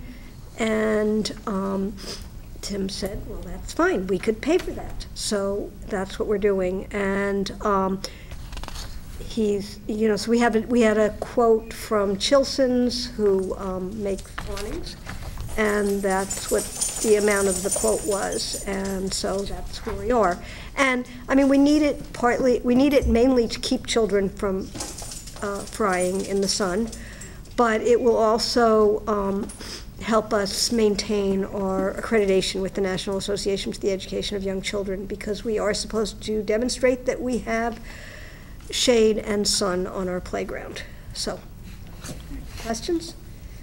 Where will the awning um, be? It's going to come out um, from the building. Now, I have a really hard time with orientation in the playground, but it's going to be um, the the preschool classrooms. Two of them have these greenhouse kind of windows. So that's actually another thing is it will shade one of the rooms a little bit, which will be a good thing. Um, so it's going to come out over the greenhouse part of one of the classrooms, and it'll be 18 feet um, long and 13 feet out over the playground. Is it? Sorry. Yeah, so anyway, it's, it's at one end of the playground. It'll shade the area where in the summer, we usually put a water table and um, where it has a, a pit and then some of the wood chip area. Does it require any ongoing um, expend expenditures? Well, I think that um, it's, be- it's an awning that can, that will be able to be retracted. So, um, and Tony seemed to feel like it was a good option. Because we had looked at other things like shade sails, which I guess are this new thing that are over playgrounds, which would have meant putting in a pole somewhere and possibly, um, you know, and attaching it to the building, which this would be attached to the building, but um, I guess because Chilson's attaches awnings to buildings all the time, they know how to do that. I'm glad that it's going to retract, because one of the problems that Ryan Road had when they looked at awnings was the snow weight, and, you know, with any fixed structure. Well, it wouldn't be out, right. it would be, it would be rolled up. Right. It'd Be, ret- it would not be out in the, in the winter. I mean, we'd probably have it open from maybe May to the end of September. And I would like to uh, move to approve the acceptance of the awning as a gift with gratitude and Second? Second. Okay. Thanks. All And- those in favor, please say aye. Aye. Opposed? Okay. Thank you. And, and I thank the Sandry Foundation for doing it. Yes, very much so. And Tim Van Dam. Sure.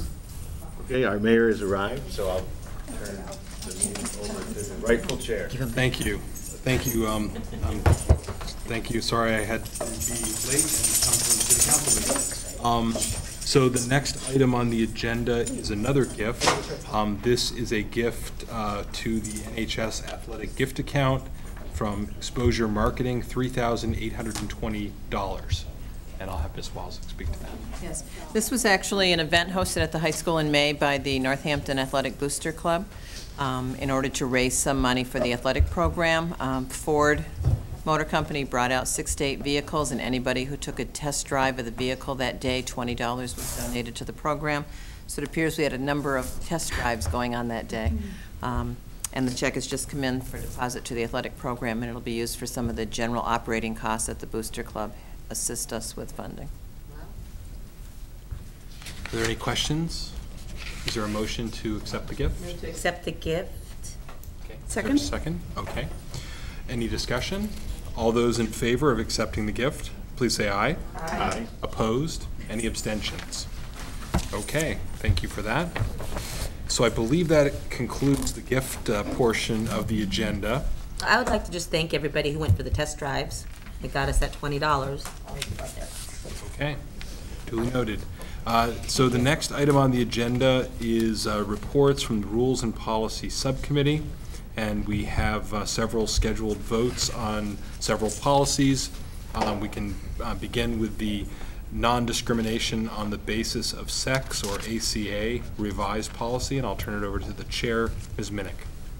Um, This is, these policies are coming to you uh, for vote tonight. You, they, you saw them at last month's meeting for informational purposes, your first reading, so here they are um, for vote. The first one is non-discrimination on the basis of sex, and the only change from our existing policy is the legal reference. So, um, I move and the Rules and Policy Subcommittee recommends approval of the updated policy to reflect the change in legal reference citation. Second? Okay. Is there any discussion about that change? Hearing none, all those in favor, say aye. Aye. Aye. Opposed? Any abstentions? Okay, so that policy has been um, amended and changed. The next item on the agenda is a vote on executive sessions, uh, policy BEC revision. Again, um, the, this policy had some number of revisions to it, but all of them were to bring it into um, compliance with the updated open meeting law, um, which was changed, but our policy was never changed to reflect those, the changes in the open meeting law that were made by the state. So this updates our policy to include the necessary changes and also references the new legal, excuse me, the new Mass General Law citation, so that we know what we're doing. So I move, and the Rules and Policy Committee recommends that this policy be amended as presented. Second? Okay. So the motion's made and seconded. Are- Is there any discussion about this policy? Hearing none, all those in favor, please say aye. Aye. Aye. Opposed? Any abstentions? Okay, so that is adopted. Next, a vote on purchasing policy, uh, policy DJ revised. I move, and the Rules and Policies Subcommittee recommends approval of a revision to the purchasing policy, DJ. Second? The change actually has to do with um, the- the city's threshold for, for um, contracts that must be issued. And our, the, the policy that, as it was in our policy manual, reflected what the city had some number of years ago, which was a limit of four thousand dollars. The city has since updated and revised their limit, and it's now ten thousand dollars. Ours remained at four thousand dollars because we never updated our policy. At this point in time, the recommendation is that the policy be changed to uh, say that we do whatever the city's minimum threshold is, so that we don't have to change our policy every time they change their threshold. So that's, that's what the change is. So that instead of having a dollar amount in here as our threshold, it's just whatever the city's doing. I would only add that just, that we changed ours because the state changed the, the theirs. So that's why ours changed, so it's sort of all the same domino effect. So yes, one less domino to worry about. Um, So that motion was made by you and seconded by Ms. Duval. Is there any discussion on it? Okay, hearing none. All those in favor, please say aye. Aye. Opposed? Any abstentions? Okay, so that completes, um, that completes those, uh, oh, actually, contracts. There's one more, contracts DJH revised. This is the one that's going to trip me up. Um, This is almost a complete redo of the policy. We are trashing the entire existing policy and starting anew with a policy, and I think that this came mostly from MASC, is that correct, or? Uh, No, this was, I think, a local. Oh, you all drafted it yourselves? Nice. Okay. Any- Anyway, it is, um, it's a complete redo of the policy, and it has to do with the idea of bids and contracts. And I it just, I'm going to go ahead and say that I move and that the Rules and Policy Committee recommends approval of this new suggested policy. Second? And then if you have questions about it, I'm going to ask Ms. Walzak to explain it to you. Ms. Fallon? Uh, It's not so much a question as, I just feel like the way we're approving contracts now is on the consent agenda, and it only takes one person to pull an item for discussion. I feel like it should be the same thing with this. I don't think we should need three people to object to something or want more information for it to have to come up to a meeting. I think that it should be enough if one of us has a serious question or concern that can't be easily answered by either the superintendent or Ms. Walzak, that we should be able to, to have it put on the agenda. Are you still okay with the two business days? Yeah, I didn't have a, pro- I- it was, it was trying to coordinate three Three people people in two in days. two business days, but if it's enough to have one person, I'm fine with two business days. And I, I agree with that, so I, I think I will, can offer an amendment, um, to, um, like, it's- hard because the sentences aren't numbered, but, um, so if we count down, um, to, so the third, in the second paragraph, I my memo would be to delete, um, the third sentence, beginning, if fewer than three, um, And then, um, to, uh, delete the beginning of the fourth sentence from if three or more committee members so notify, um, and replace that with when at least one committee member has so notified the superintendent. I'll second that. Okay. So there's an amendment now that's been made and seconded to amend the policy from three to just one member being able to make that request. Is there any discussion or debate on the amendment?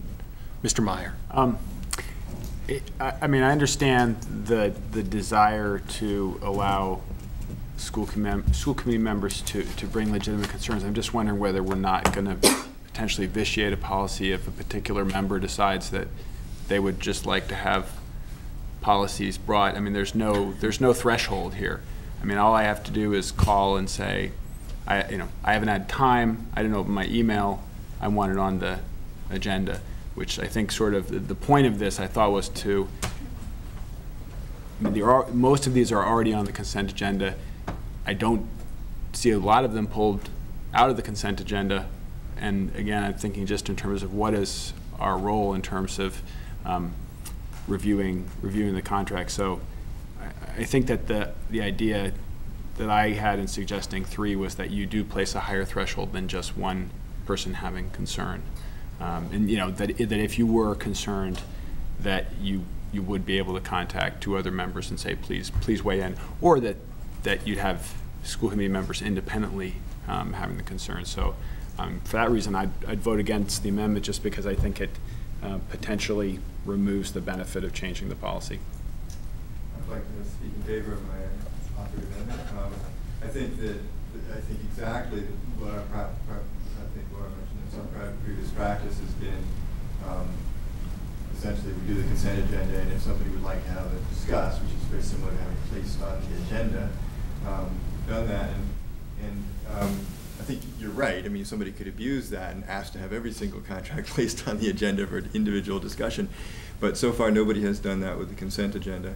And um, in fact, every time somebody has asked to have it placed on the agenda, it's been because either it was for informational reasons, it was, you know, sort of, what is this contract for? And it was a good thing for us and for the public to be able to find out about what this contract is for. Um, In general, that's how they've been. They haven't been much, hasn't been much more than that, why it's been placed on the agenda. Um, And I think that's really valuable, and I think that if, um, I, th- I think part of the problem with requesting, requ- sort of expecting more than one person to have always read everything closely um, prior to the meeting, by two days in advance of the meeting, particularly when, um, you know, in this case, it would be when the contract comes up, and so that could be three or four weeks in advance of the meeting, or it could be two days before the meeting. Um, and I, and I just, I think it's simpler just to say if somebody has a concern, it can be on the agenda. I don't think it will um, undo, I think, which real progress we've made in terms of having a consent agenda. And likewise, I don't think it will undo the other, this is an additional benefit, or the consent agenda thing. This is not about running the meetings. This is about being able to, once you've determined that you're going to hire somebody to do something, um, being able to act on that instead of having to wait for four weeks, which I think is a really important value. But um, I, I, I think, again, the, the probability of doing that and, uh, is low. I- and and if, and if it is worth discussing, then it's worth discussing, and it's worth the delay of three weeks. Which is no, which is, I want to point out, exactly what we've been doing now for the last eon. So, and we've managed to function, only this would be only on those ones where somebody has a concern about it. So it's not, it's not going back, it's still progress in terms of being more efficient and moving more quickly. So I have three hands. I think Lisa was before. So, Ms. Uh, I don't know. I, I was just gonna say, I, I'm willing to even budge, if you wanna, if you feel strongly about having three people, then I think we need a longer time limit. My point is to get three pe, to, to coordinate with three people in forty-eight hours, if it takes me twenty-four hours before I even get through the email, and then I have limited daylight hours, I'm not gonna call one of you or email one of you at eleven o'clock at night to be like, whoa, this contract's problematic. So I, I'm okay with the three-person threshold if the time limit's longer, and if it's a 48-hour time limit, then I think it should just be, like Howard said, one person. Ms. Minnick. I'm concerned that your proposed amendment eliminates part of a sentence that's kind of critical there, that says that if it doesn't come to the school committee as a separate, the superintendent can sign it. Oh. Right. So you're right, I needed, I needed to change that, because that's not what I meant. Okay. I I mean, I want it to be clear that the whole point here is that the superintendent is going to be signing contracts unless we say to him, no, we don't want you to just sign it de facto, we want it brought to us to right, you'll have discuss. forty-eight hours to wait. Yes, And yes. then after that, you can't sign them. Right, so that's a problem with my amendment, I'm sorry. And I mean, maybe, I agree with you, I mean, I don't know whether even with one person, if the 48 hours is the right, it- it- it's not, and we changed that because the original recommendation was 48 hours, and I was like, if you send me this on Friday afternoon, Right. you know, I may not get to it by Monday morning, and so let's not make, let's make it two business days. But still, if you send it to me on Monday morning, that means I have to notify the office by Wednesday afternoon if I don't want it to happen, so. I don't want to, res- I don't, uh, part of the concern was that we have contracts that are, are sitting around that by rights should have been approved so that business can be handled. And it would be nice to just delegate that to the superintendent. But, I mean, I, I don't know what the right amount of time is. So, but regardless, it needs to say, in your, your amendment needs to be redone so that we do go ahead and make clear that if we, if nobody's contesting it, he's gonna sign it. Can I withdraw my amendment?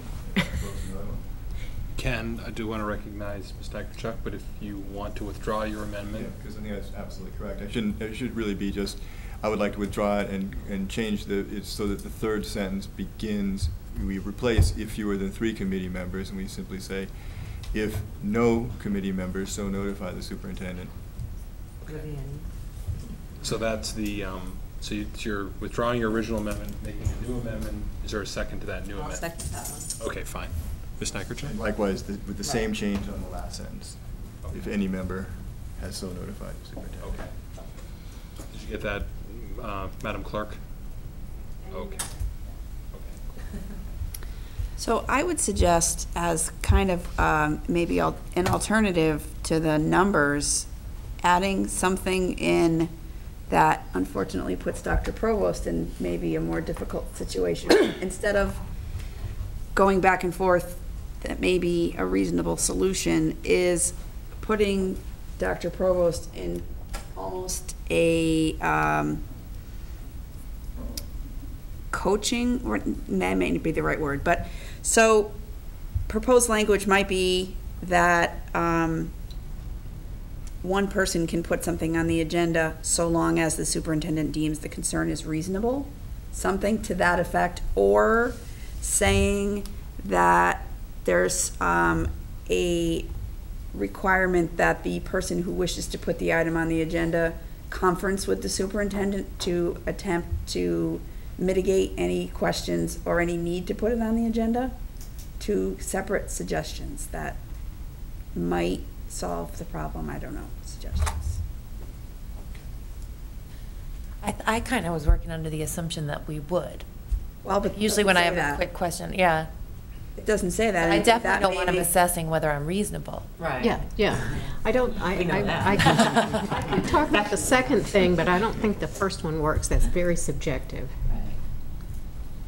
I also think, though, that, like Howard already said, nobody really takes advantage of pulling out the con, the contracts or whatever out of the consent agenda unless there's a real bona fide question, issue, whether it be um, something that they themselves want to know, or sometimes it's just whether or not they feel that the public should be aware of. And, you know, so I, that's the reason that I support that anybody can bring it up, because we're all very diverse people, and to expect us to get together and, and, you know, try to talk one another into their own rationale, I think when it gets to that point, that it should actually be back here out in the public.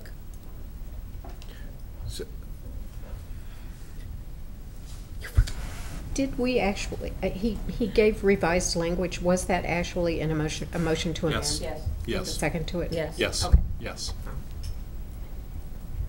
The only thing I would also caution people about, you know, having three people is that if you, if you start calling around to try to locate three people, you may find yourself in a deliberation. Yeah. If you talk to, you know, I- well, he didn't want to do it, so I'll call her, I'll call her, and you've talked to s- six people, and you've talked to a quorum, and a quorum has discussed the issue, then you violated the open meeting law. So that's just one other thing to consider. And even the appearance of the open meeting law, you know, just having it, having to discuss three people, whether or not we ever get to five or six, it's just the appearance. I think that we need to just keep things really open, out in the open for people to see. Okay, so there's a, there's a re- remade Got me. amendment. Yeah, so I, I- I hear the amendment, and, um, and I, I understand the concerns. I, I guess my, I guess that if something is pulled out of the consent agenda, the administrative penalty in terms of addressing that contract is about fifteen minutes, right? Because we didn't do it in the consent agenda, and I understand that it's important the concerns are aired. But again, the penalty here could be four weeks. But that is what we currently do with all of our contracts without any, any, whether or not anybody cares. And also, I think the But it- criteria. that's the prob, that's the problem that we're trying to solve, though. And I think that's what I'm saying, I think we can solve it for most of them as a result. Right. We haven't solved it yet, that's why they're bringing But some of the questions that come up in the consent agenda that we ask right now may actually be questions that are, I mean, a lot of them, I think, from where I sit, are so simple that if we called up and said, hey, you know, Dr. Provost, I think I have an issue on such and such, and he says blah, blah, blah, lots of times that just answers the question and it doesn't really need to go further. And that's just, you said it happens so quickly in here. It's not, it's very seldom that we have very long, intense discussions about one of the contracts and pulls out. It's not, not never, but sometimes we do, but it's very rare that it's, it's, you know, about less than, more than just a question or two. You know, it's just, that's all it is. What if the requirement were that the one member can make a request to the chair to, to have it, you know, placed on the agenda? So that at least it- there's some, Uh, there is I some. mean, I- I would like there's some- consultation that some- happens with the chair of the Well- committee about. Again, I'm, you know, I, I don't, I would, I prefer a different alternative, but that doesn't mean that the committee, you know, the committee votes as the committee votes. But I, I would like some kind of independent check on, on the member making that motion. Again, it could be that we go and this policy works brilliantly with only one, you know, and it's rarely used and it's used appropriately. But again, if the idea, I'm trying to, you know, for me, this seems like a great administrative benefit to have contracts executed because I serve on other city committees where I get the emails, please, please, please come by City Hall and sign this contract so that, you know, the, the Conservation Commission can purchase this land. It's a re, it's a real problem. It's not, a- you know, it's not just something that they're just trying to clean up because it's easier. It's that books need to be purchased, custodian, you know, invoices need to be paid, contracts need to be entered into to get somebody in to do some important work in the school that allows teaching to take place. And we don't meet that often, right? We have monthly meetings. A month is a long, long time during a school year. So that's, you know, so again, it, you know, it can go forward. I just hope, I hope that we're, you know, cognizant as a committee that we don't abuse the, the power. Yes. What was the expectation? Were we being sent a contract and just expected, or are we being sent like a blurb, like this is what this contract is for and an explanation? Because if it's being sent along with an explanation every contract, then there, pro- that probably eliminates the need for, for one person. Do you know what I'm saying? Well, Like, my- so if you just send me a contract, I'll be like, I have no idea My what understanding is, Valley. my understanding is that as as a school committee member, if I'm sent a contract, that it's my obligation to do my due diligence and look through it, and if I have concerns, that I should call the super, my first step is to call the superintendent. If the superintendent refers me to the business administrator, I have a conversation. I say, you know, I have some expertise in this area of contracting. I'm not sure why this, why this is done this way. And I would hope that I would have a conversation, again, it's not a deliberation because with the administrative personnel of the district, that would satisfy me. Um, And if, you know, and if not, then I would say, I'm, I'm really not satisfied. I would like, I'd like to place this on the agenda. And again, without getting into the trying to coordinate, I would just say, if no one else, if none of the other school committee members are doing their due diligence and are not reading contracts and are not concerned, that's our problem as a committee, not the problem that is, you know, to be pushed back to the administration. I think that, yeah, I think you misunderstood what I meant. For example, the contract from Pearson, I can read through the contract, but if I'm like, why are we giving Pearson another hundred thousand dollars? And they say, it's because we have to upgrade this system, that's not something that I would necessarily know on my own. Do we really want the superintendent to field eight or nine phone calls for him to have to give us that information rather than just, do you know what I'm saying? We So, don't, but we don't do that on the consent agenda. but he informs us. Right, but But so I'm just asking, will he be informing us of what these contracts are for when he sends it out? Because We kind of do do it on the consent agenda. I mean, just in the fact that we get a, a letter from him stating just a, a brief overview of what everything is in case, you know, that does answer the questions. That's not generated by any of us, that he just wonderfully does, you know, before everybody. So that's, yeah, so that's really what I'm asking, is he, will he continue, will you be continuing to send us a little blurb about what this contract is, you or Candace, or? If Or it's the not. committee's pleasure, I certainly would be happy to continue that practice. Well, otherwise, it'd be a lot of questions. I mean, if you just sent us contracts and we had no idea about it. it'll make Candy's life easier, but it'll make your life more difficult, so. Well, I could always delegate it to Candy. But he's, but he's doing it all, he's doing it already in advance Right. of the school committee meetings. Totally doing it. Ms. Minnick? How about if somebody makes an amendment to this thing that says when the contract is not the result of a competitive bid, the contract shall be scanned and emailed to all committee members with a brief explanation? I'll second that. Add, I mean, I- I'm not making the motion, I'm saying someone should, because I made the original. And are you saying, and then leave the three, the rest of it the same? No, do Howard's Oh. amendments, but I'm just saying that it would clarify that we're expecting a brief explanation of what each contract is about. I mean, it's gonna, you're gonna get the email, it's gonna be attached, please find a copy of blankety blank contract. You know, this is because we have to do this. You know, I'd like to, um, if I may, call the question on my amendment, so, because I think we're starting to discuss other things. And I think they're kind of separate, so I'd like to call the question.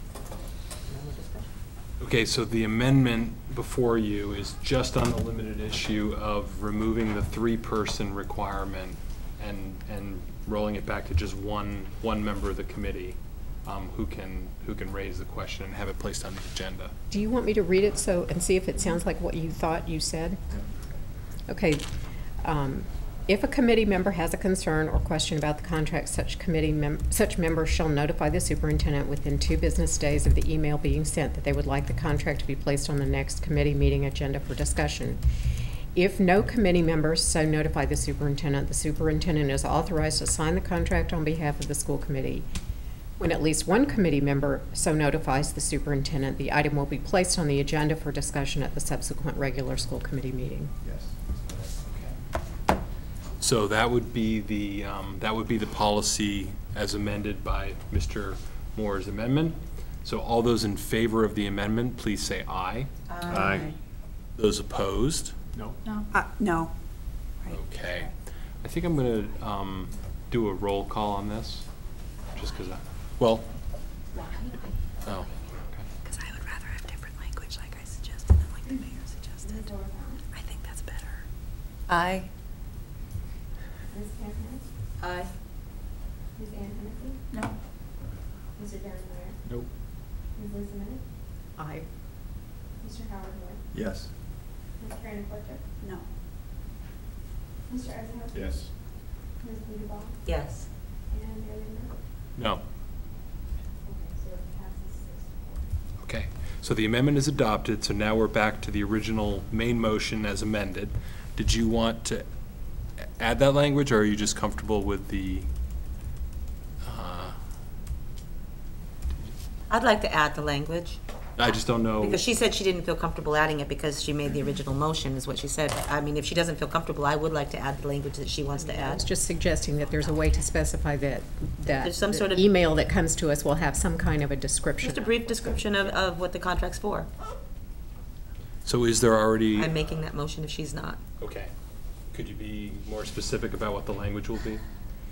When a contract is not the result of a competitive bid, the contract should be scanned and emailed to all school committee members along with a brief explanation. Is it going to be your motion? I, I don't care. No, no, I'm Okay, just telling you what to That's exactly what I wanted you to say. That's, I, Okay. yes, that's exactly what I wanted. Okay, that's the motion. Um, uh, Is there a, s- is there a second?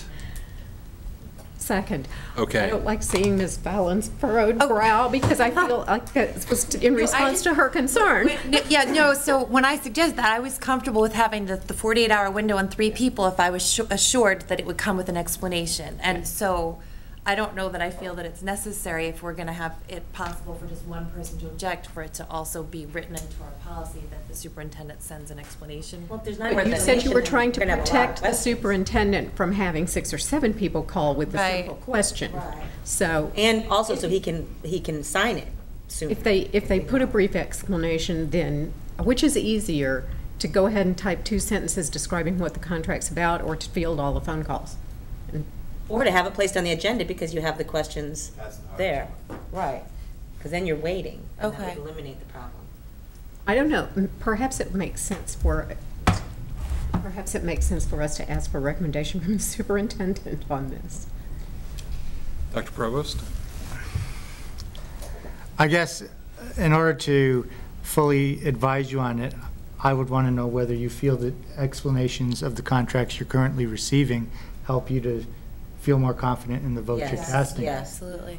Definitely. Then I would say that uh, recognizing the benefit that it has for you, I would be happy to continue that practice and have it codified into policy. There'd be a lot of questions that I would have on the contracts that we get, and I do have, and then we get your explanation, and it, it just checks off almost all my concerns. So, I mean, I know that it does matter quite a bit, and you do a great job at explaining it succinctly and to the point. Now, those, now, having said that, those contracts may be actually forwarded to us by the business manager. Does the business manager feel comfortable doing that same thing? Okay, so um, there's been a motion made and seconded. Um, Any further discussion on this amendment? Hearing none, all those in favor say aye. Aye. Opposed? Any abstentions?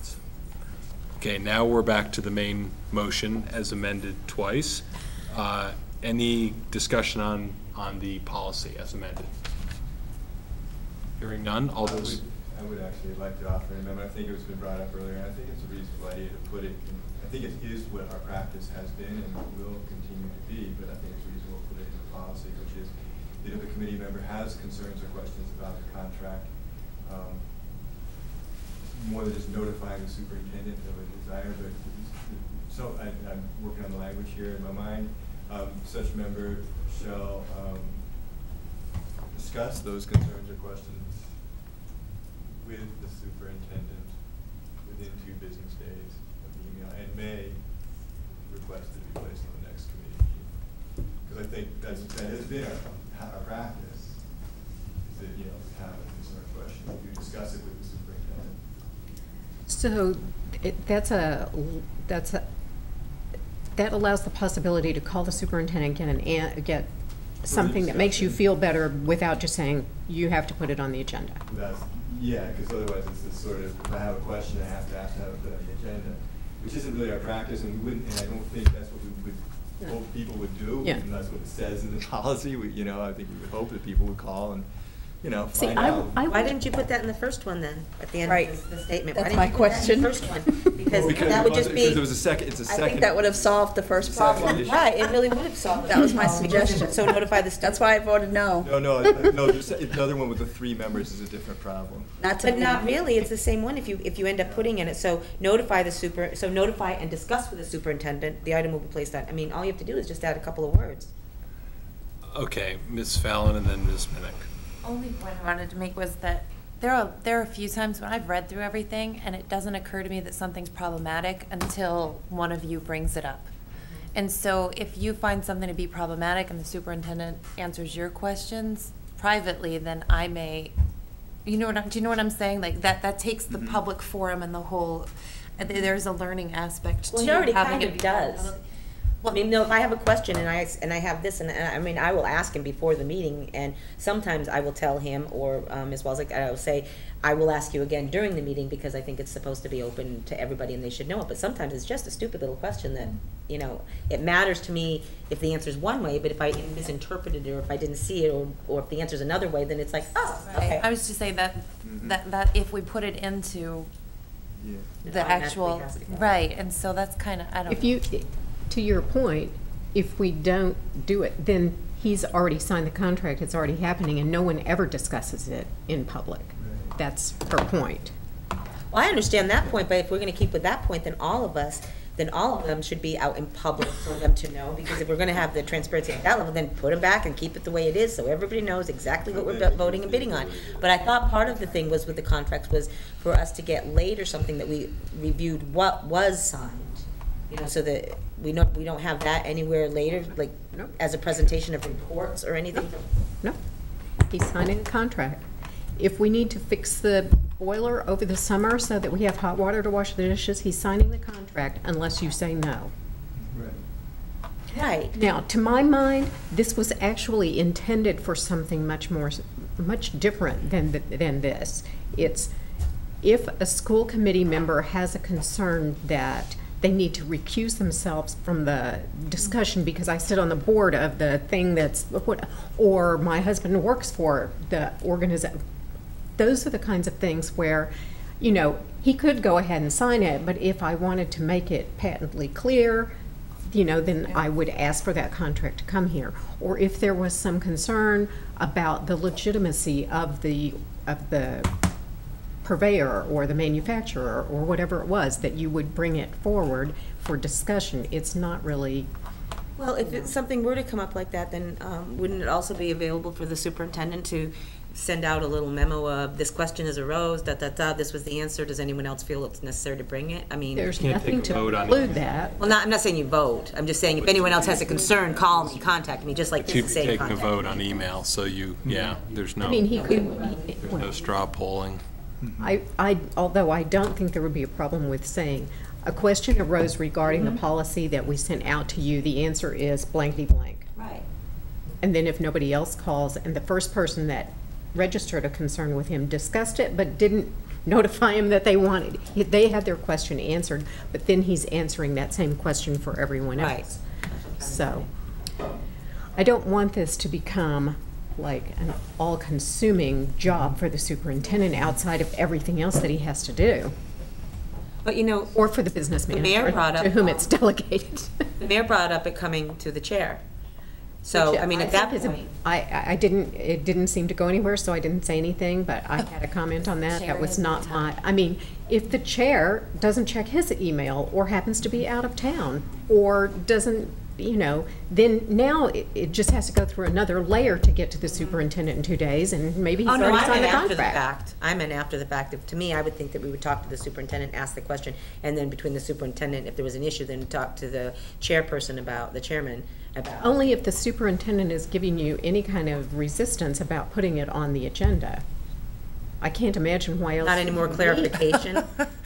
I, I can't imagine why you would need to go to the chair with something unless you're not getting satisfaction from the superintendent. Whether or not it's something that he wants, he feels that should be or shouldn't be or whatever. I'll withdraw my comment earlier. I don't want to add any more layers to this, I was just trying to think of an alternative. I thought it was a great suggestion. Yeah, I would approve the contract as it stands. So, are you offering an amendment, It didn't get seconded, and I. Oh. I didn't know, Uh, what- If it was an amendment, it, it- so what was it? It was just to, to, I- to say that, you know, instead of just simply saying, if you have a question, you say you want to have it on the agenda, as opposed to the intermediate So step. if you instead have of a saying question, notify, raise the it says- question, and then you may place it on the agenda or not. But isn't that implicit? I mean, you could, Right, you that's what I could call the superintendent to just ask a question, and if he doesn't sa- give you an answer that's satisfactory, then you say. So that's, the "Oh, I'd the like question to-" was just whether we should write in our policy what I think is our practice. Yeah. And that was, that was the question. Because it does pretty much say that the, the members shall notify the superintendent they would like the contract to be placed on the committee agenda. So if you just really want to ask the question and then make the decision about placing it on the You're still allowed. agenda. Does not bar. Doesn't prohibit you Yes. from asking. So, It doesn't- absolutely does not Could you tell me what your exact language is? If you make a motion for an amendment, then maybe I'll second it. Well, I think the concern is actually the word shall. The, the policy should, because this, this instructs school committee members, if you have a question or concern, you shall. Shall is an instruction. It's not, it should say may. Yeah. Okay, It- I- okay, you know, well, somebody I- needs to make, to revise the language. Move that we amend the policy to read may instead of shall in the third line of the second paragraph. I will second that. Does that completely, that, I think that completely takes care of, I think it does. okay, does that work? Because I want to be able to call up and ask a question without knowing that, oh, the criteria is it's automatically going to be put on the agenda. I mean, I'd like to just be able to ask a question. So, at the end of the conversation, you may. You may say. Okay, so there's been a motion made and seconded to change the word shall to may. Any further discussion? Good job, Dan. All those in favor, say aye. Aye. Opposed? Any abstentions? Okay, so now we're back to the original motion. We rewrote it. Uh, Original, yeah, uh, policy. Any, any further amendments? No. No. Hearing none. All those in favor of adopting the contract's policy, please say aye. Aye. Opposed? Any maybes? Any abstentions? Okay. So we had. So there's one, There were one three. no. Three Three noes. noes, okay, Three noes over here. okay. Not me, but So it is all adopted, my, all my friends. okay. Sort of the ring. So the motion carries and the policy is Former adopted. friends over here. So now we'll move into the uh, Business Administrator Report, and I'll turn it over to Ms. Walzick. Okay, um, I tried to do a summary for you of some of the key points of closing out fiscal 15. The first one was giving you the, the regular monthly Munis report and let you knowing that the school committee appropriation budget was brought down to zero at the close of the fiscal year. And then I went on to give you a little more detail on what I call our five major revolving accounts and letting you see where each of those stood. Um, The good news on school choice is because we actually spent less on school choice than was projected, we're going into the future with a larger balance in our school choice, so that will um, help us with what we called our five-year plan as we went forward, by having those additional funds available to us. Um, Circuit breaker is actually a, a more substantial balance because of some action that took place at the end of fiscal 14, leaving a larger balance in circuit breaker that we carry forward. We are only allowed there to carry forward the amount that we took in in the prior fiscal year as a maximum. The athletic revolving, although they um, continue to spend a little more than they took in of the revolving account, the good news is that it's less than it was in the past, so that the, the deficit is getting smaller, and we're hoping within another year that we'll be able to actually bring that to a zero or possibly a surplus. Um, Transportation revolving, um, we had the cost of the bus, which actually was delivered yesterday and was being inspected this afternoon, so the new bus has arrived in town. Hopefully will be registered and be on the road for the opening of school. Um, That was a major expense that was planned for as part of this year's transportation revolving account. And the food service revolving account also had a small deficit this year, but because we had a balance in there at the beginning of the year, we we're able to sustain that account and are looking at some new initiatives this year to hopefully close that gap some more also. The one piece that I will confirm that I actually forgot to put in the report for you was we had talked previously about the FY14 balance. Under the um, new directive from the auditors, the balance in the, in those holdover accounts from 14 reverts back to the city's general fund at the close of the year, and it did close out at just under $60,000, which was the number we had originally projected. Um, And then the last piece that was mentioned in the report to you was just letting you know that the warrant you'll be signing tonight does include the invoice for the school bus. Um, Again, paying bills once a month is not an easy piece to deal with either. Um, The bus company is not able to release the title to us until they've received our payment. We can't register the bus until we have the title. So rather than wait 30 more days, I took the chance and put that invoice on the um, warrant tonight for you to sign. It will have a hold when it goes to the treasurer's office, asking them to hold it until we sign off that the inspection of the bus has been completed. I actually think that will happen before the city cuts the check next week. But if I didn't bring it to you tonight, it would be another 30 days, and we would not get the title and get the bus registered, so. I just wanted to be sure you were aware of that. Okay, any questions about uh, that aspect of the report? Okay. The next item on the agenda is the DESE Title II-A Fiscal Review Audit Results. Yes, periodically, the state comes out to do what I would call targeted audits, where they look at one specific grant. Our normal annual audit that the city's auditor does and the regular Department of Ed audits tend to look at everything. Um, We drew the short straw, I guess, this year on our Title II grant, and they came out and spent a day going through the entire Title II grant from last year. Um, Generally, the audit went very good. They were pleased with the record-keeping we had. They made a few recommendations in terms of getting some more policies done, which is something we're working on. And they also noted a couple of um, what I would call shortfalls with the way the the Munis accounting system is used in the city. Um, I'm happy to report that the first one has already been addressed, that the city is now letting us put purchase orders in as of July 1st, rather than having to wait until the books are closed. We did some testing, and we figured out how that would work. So we've actually resolved one of the two issues already, and we're continuing to work on some of the other issues with the, the city on the Munis side of the operation. Ms. Fallon, do you have a question? Can you just explain to me, what are they talking about with the, it sets, the setup requires the school district to use a crosswalk in those instances? If you, when the auditors come in and they look at your account number, if they can't see the Department of Ed coding, such as something being coded as a specialist teacher, if they can't see that in the account number, then we're required to be able to, to translate to them how we took that number and got it into the Departments of, Department of Ed's account code.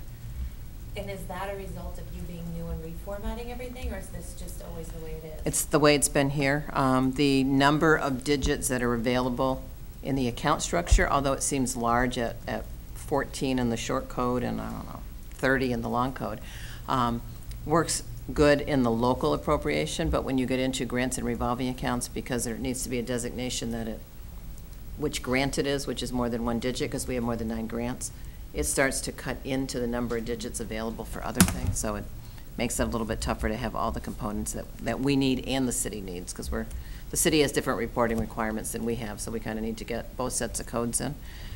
And we just don't have enough digits on some of the grants and revolving accounts to do that, so.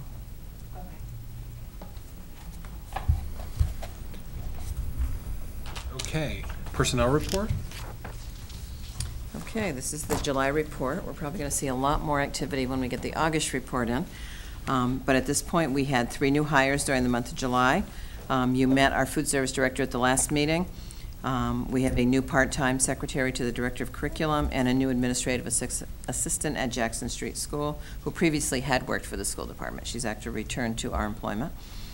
We had a number of separations here. Um, You'll see the list of three teachers, two S, two ESPs, one secretary, and one coach. We had two retirements, one of our custodians and one of our homeschool visitors. Um, And then you've got a long list of summer school staff, which are essentially part-time positions, mostly for the month of July, providing our summer programs to students. Okay. Any um, questions about the personnel report? Hearing none, we'll now move into a discussion of the district improvement plan progress monitoring. Thank you. I wanted to get a sense of the committee revisiting the question that was asked at last month's meeting about how will we know whether or not we're making any progress on the district improvement plan. I think the first suggestion was that it should be calendared for a specific time in the year and a progress report provided. And my sort of initial reaction to that was it might be good to do it in May. But after rethinking it, I think there may be a better approach. Um, One of the things that I'm going to do to communicate with the staff and provide accountability for the staff with respect to the district improvement plan is begin um, a publication, which I expect will be coming out about twice a month, that talks about progress on the initiatives. And I think that um, it might be more useful to you if I just included you on that mailing list. Um, Because if we wait until May and there's something that we're doing in the district improvement plan that raises concerns, um, we're pretty far down the road. Um, So I think that it may be better to provide more frequent updates uh, with smaller increments of progress than an annual update with um, large, a a large um, chunk of the work done. So um, the, as I've envisioned it, the progress reports would be coming to you via email at the same time they're distributed to staff. Um, it- They would just come automatically. If there are questions or concerns that arise from what, what you're reading, um, then we could schedule a discussion on the agenda. So um, your thoughts on that proposal? I like it. And I'm glad that you rethought about um, having it from May to having an ongoing discussion, because having been part of the original team of- of, I know how hard it was for everybody to pull everything together, and especially for you, were quite amazing to be able to take all those ideas in the different categories and pull them all together, that to be able to evaluate them, to me, seemed like a daunting and overwhelming chore, and for you to be doing it bi-monthly, um, bi-monthly the right word if you do it twice a month? Bi-monthly? Yeah, well, anyway, twice a month. Um, I just think that, one, after all the discussion of whether or not you had to write out little bitty statements about what the contracts were, I really want to applaud you and thank you for, for taking um, the initiative and um, also for including us on it. I, I think that that's a really good, good plan that you have. Thank you. Okay. Sounds like there's, I'm seeing lots of heads nodding, that that's a good approach, so I think that's the best way to move forward. Okay. Okay, now we'll move on to the superintendent report. Thank you. After having discussed it at just about all of our committee meetings since last March, I'm happy to report to you and to the public that the uncertainties around the kindergarten expansion grant have been resolved favorably. As you will recall, the kindergarten grant was eliminated in the governor's budget proposal and reinstated by the House and Senate. Um, Knowing that the kindergarten grant was still contested ground, we prepared a budget that included a contingency should the uh, funding source be eliminated. Funding for the program was later vetoed by the governor, but then the veto was overridden unanimously by both the House and Senate. Um, Given the unanimous support in both houses, it's obvious that Representative Kocot and Senate President Rosenberg supported uh, young children with their override votes. But I just wanted to take this opportunity to express my gratitude for their support of the kindergarten grant publicly and on the record. Keeping in the mode of good news, I'm pleased to report that both the Ryan Roads and Leeds roof projects are scheduled for substantial completion as of tomorrow. Any remaining work, including inspections and cleanup, can be easily done within the next two weeks. The projects have been on budget throughout. The city received a $30,000 credit for masonry-related work that was not needed. There have been no additional uh, charges or change orders or unforeseen problems. The public should be advised that some trees were cut and removed from the inner courtyards at Ryan Road School uh, using a crane. This was done to protect the new rubber surfaces. Um, The Dectron project is slightly backed up due to a delay in manufacturing the new equipment that will be installed. The delivery window for the new equipment is now projected to be from September 22nd to the 25th. The rear wall of the pool area will be open during the week of August 17th and will remain open but secured um, for the the duration of the project. The pool will be closed for most of the month of October for construction. Recreation Department has been kept informed of the schedule and has let the community know about changes to the pool availability due to the pool upgrades. Wi-Fi installation is underway at Bridge Street School. The first floor has been completed and activated. Wires have been pulled on the second floor, and all that is left to do there is to attach the wireless access points and activate the second floor. A lead crew is currently pulling wire, well, not currently, but has begun pulling wire at Jackson Street School and will be joined by the workers from Bridge Street once they're done with the second floor. And once Jackson is done, we'll move on to Ryan Road. The work seems to be on pace to be completed for the installation um, of Wi-Fi at all three of the remaining schools for the opening of school. And then we'll have wall-to-wall Wi-Fi coverage across the district, a goal that I've been striving for for more than a year, and um, very gratifying for me. And the final bit of good news we have tonight comes by way of the U.S. mail. Um, This morning, I was copied on a letter from the Massachusetts Association of School Committees President, Patrick Francomano, to Ms. Minnick, notifying her of her selection to receive an MASC Lifetime Achievement Award, which will be presented at the MASC-MASS Joint Conference on Friday, November 6th at the Hyannis Conference Center. Who did that? What's that? I said, who did that? Well, because I have the floor, I'd like to close my remarks by being the first to congratulate you on receiving this well-deserved honor.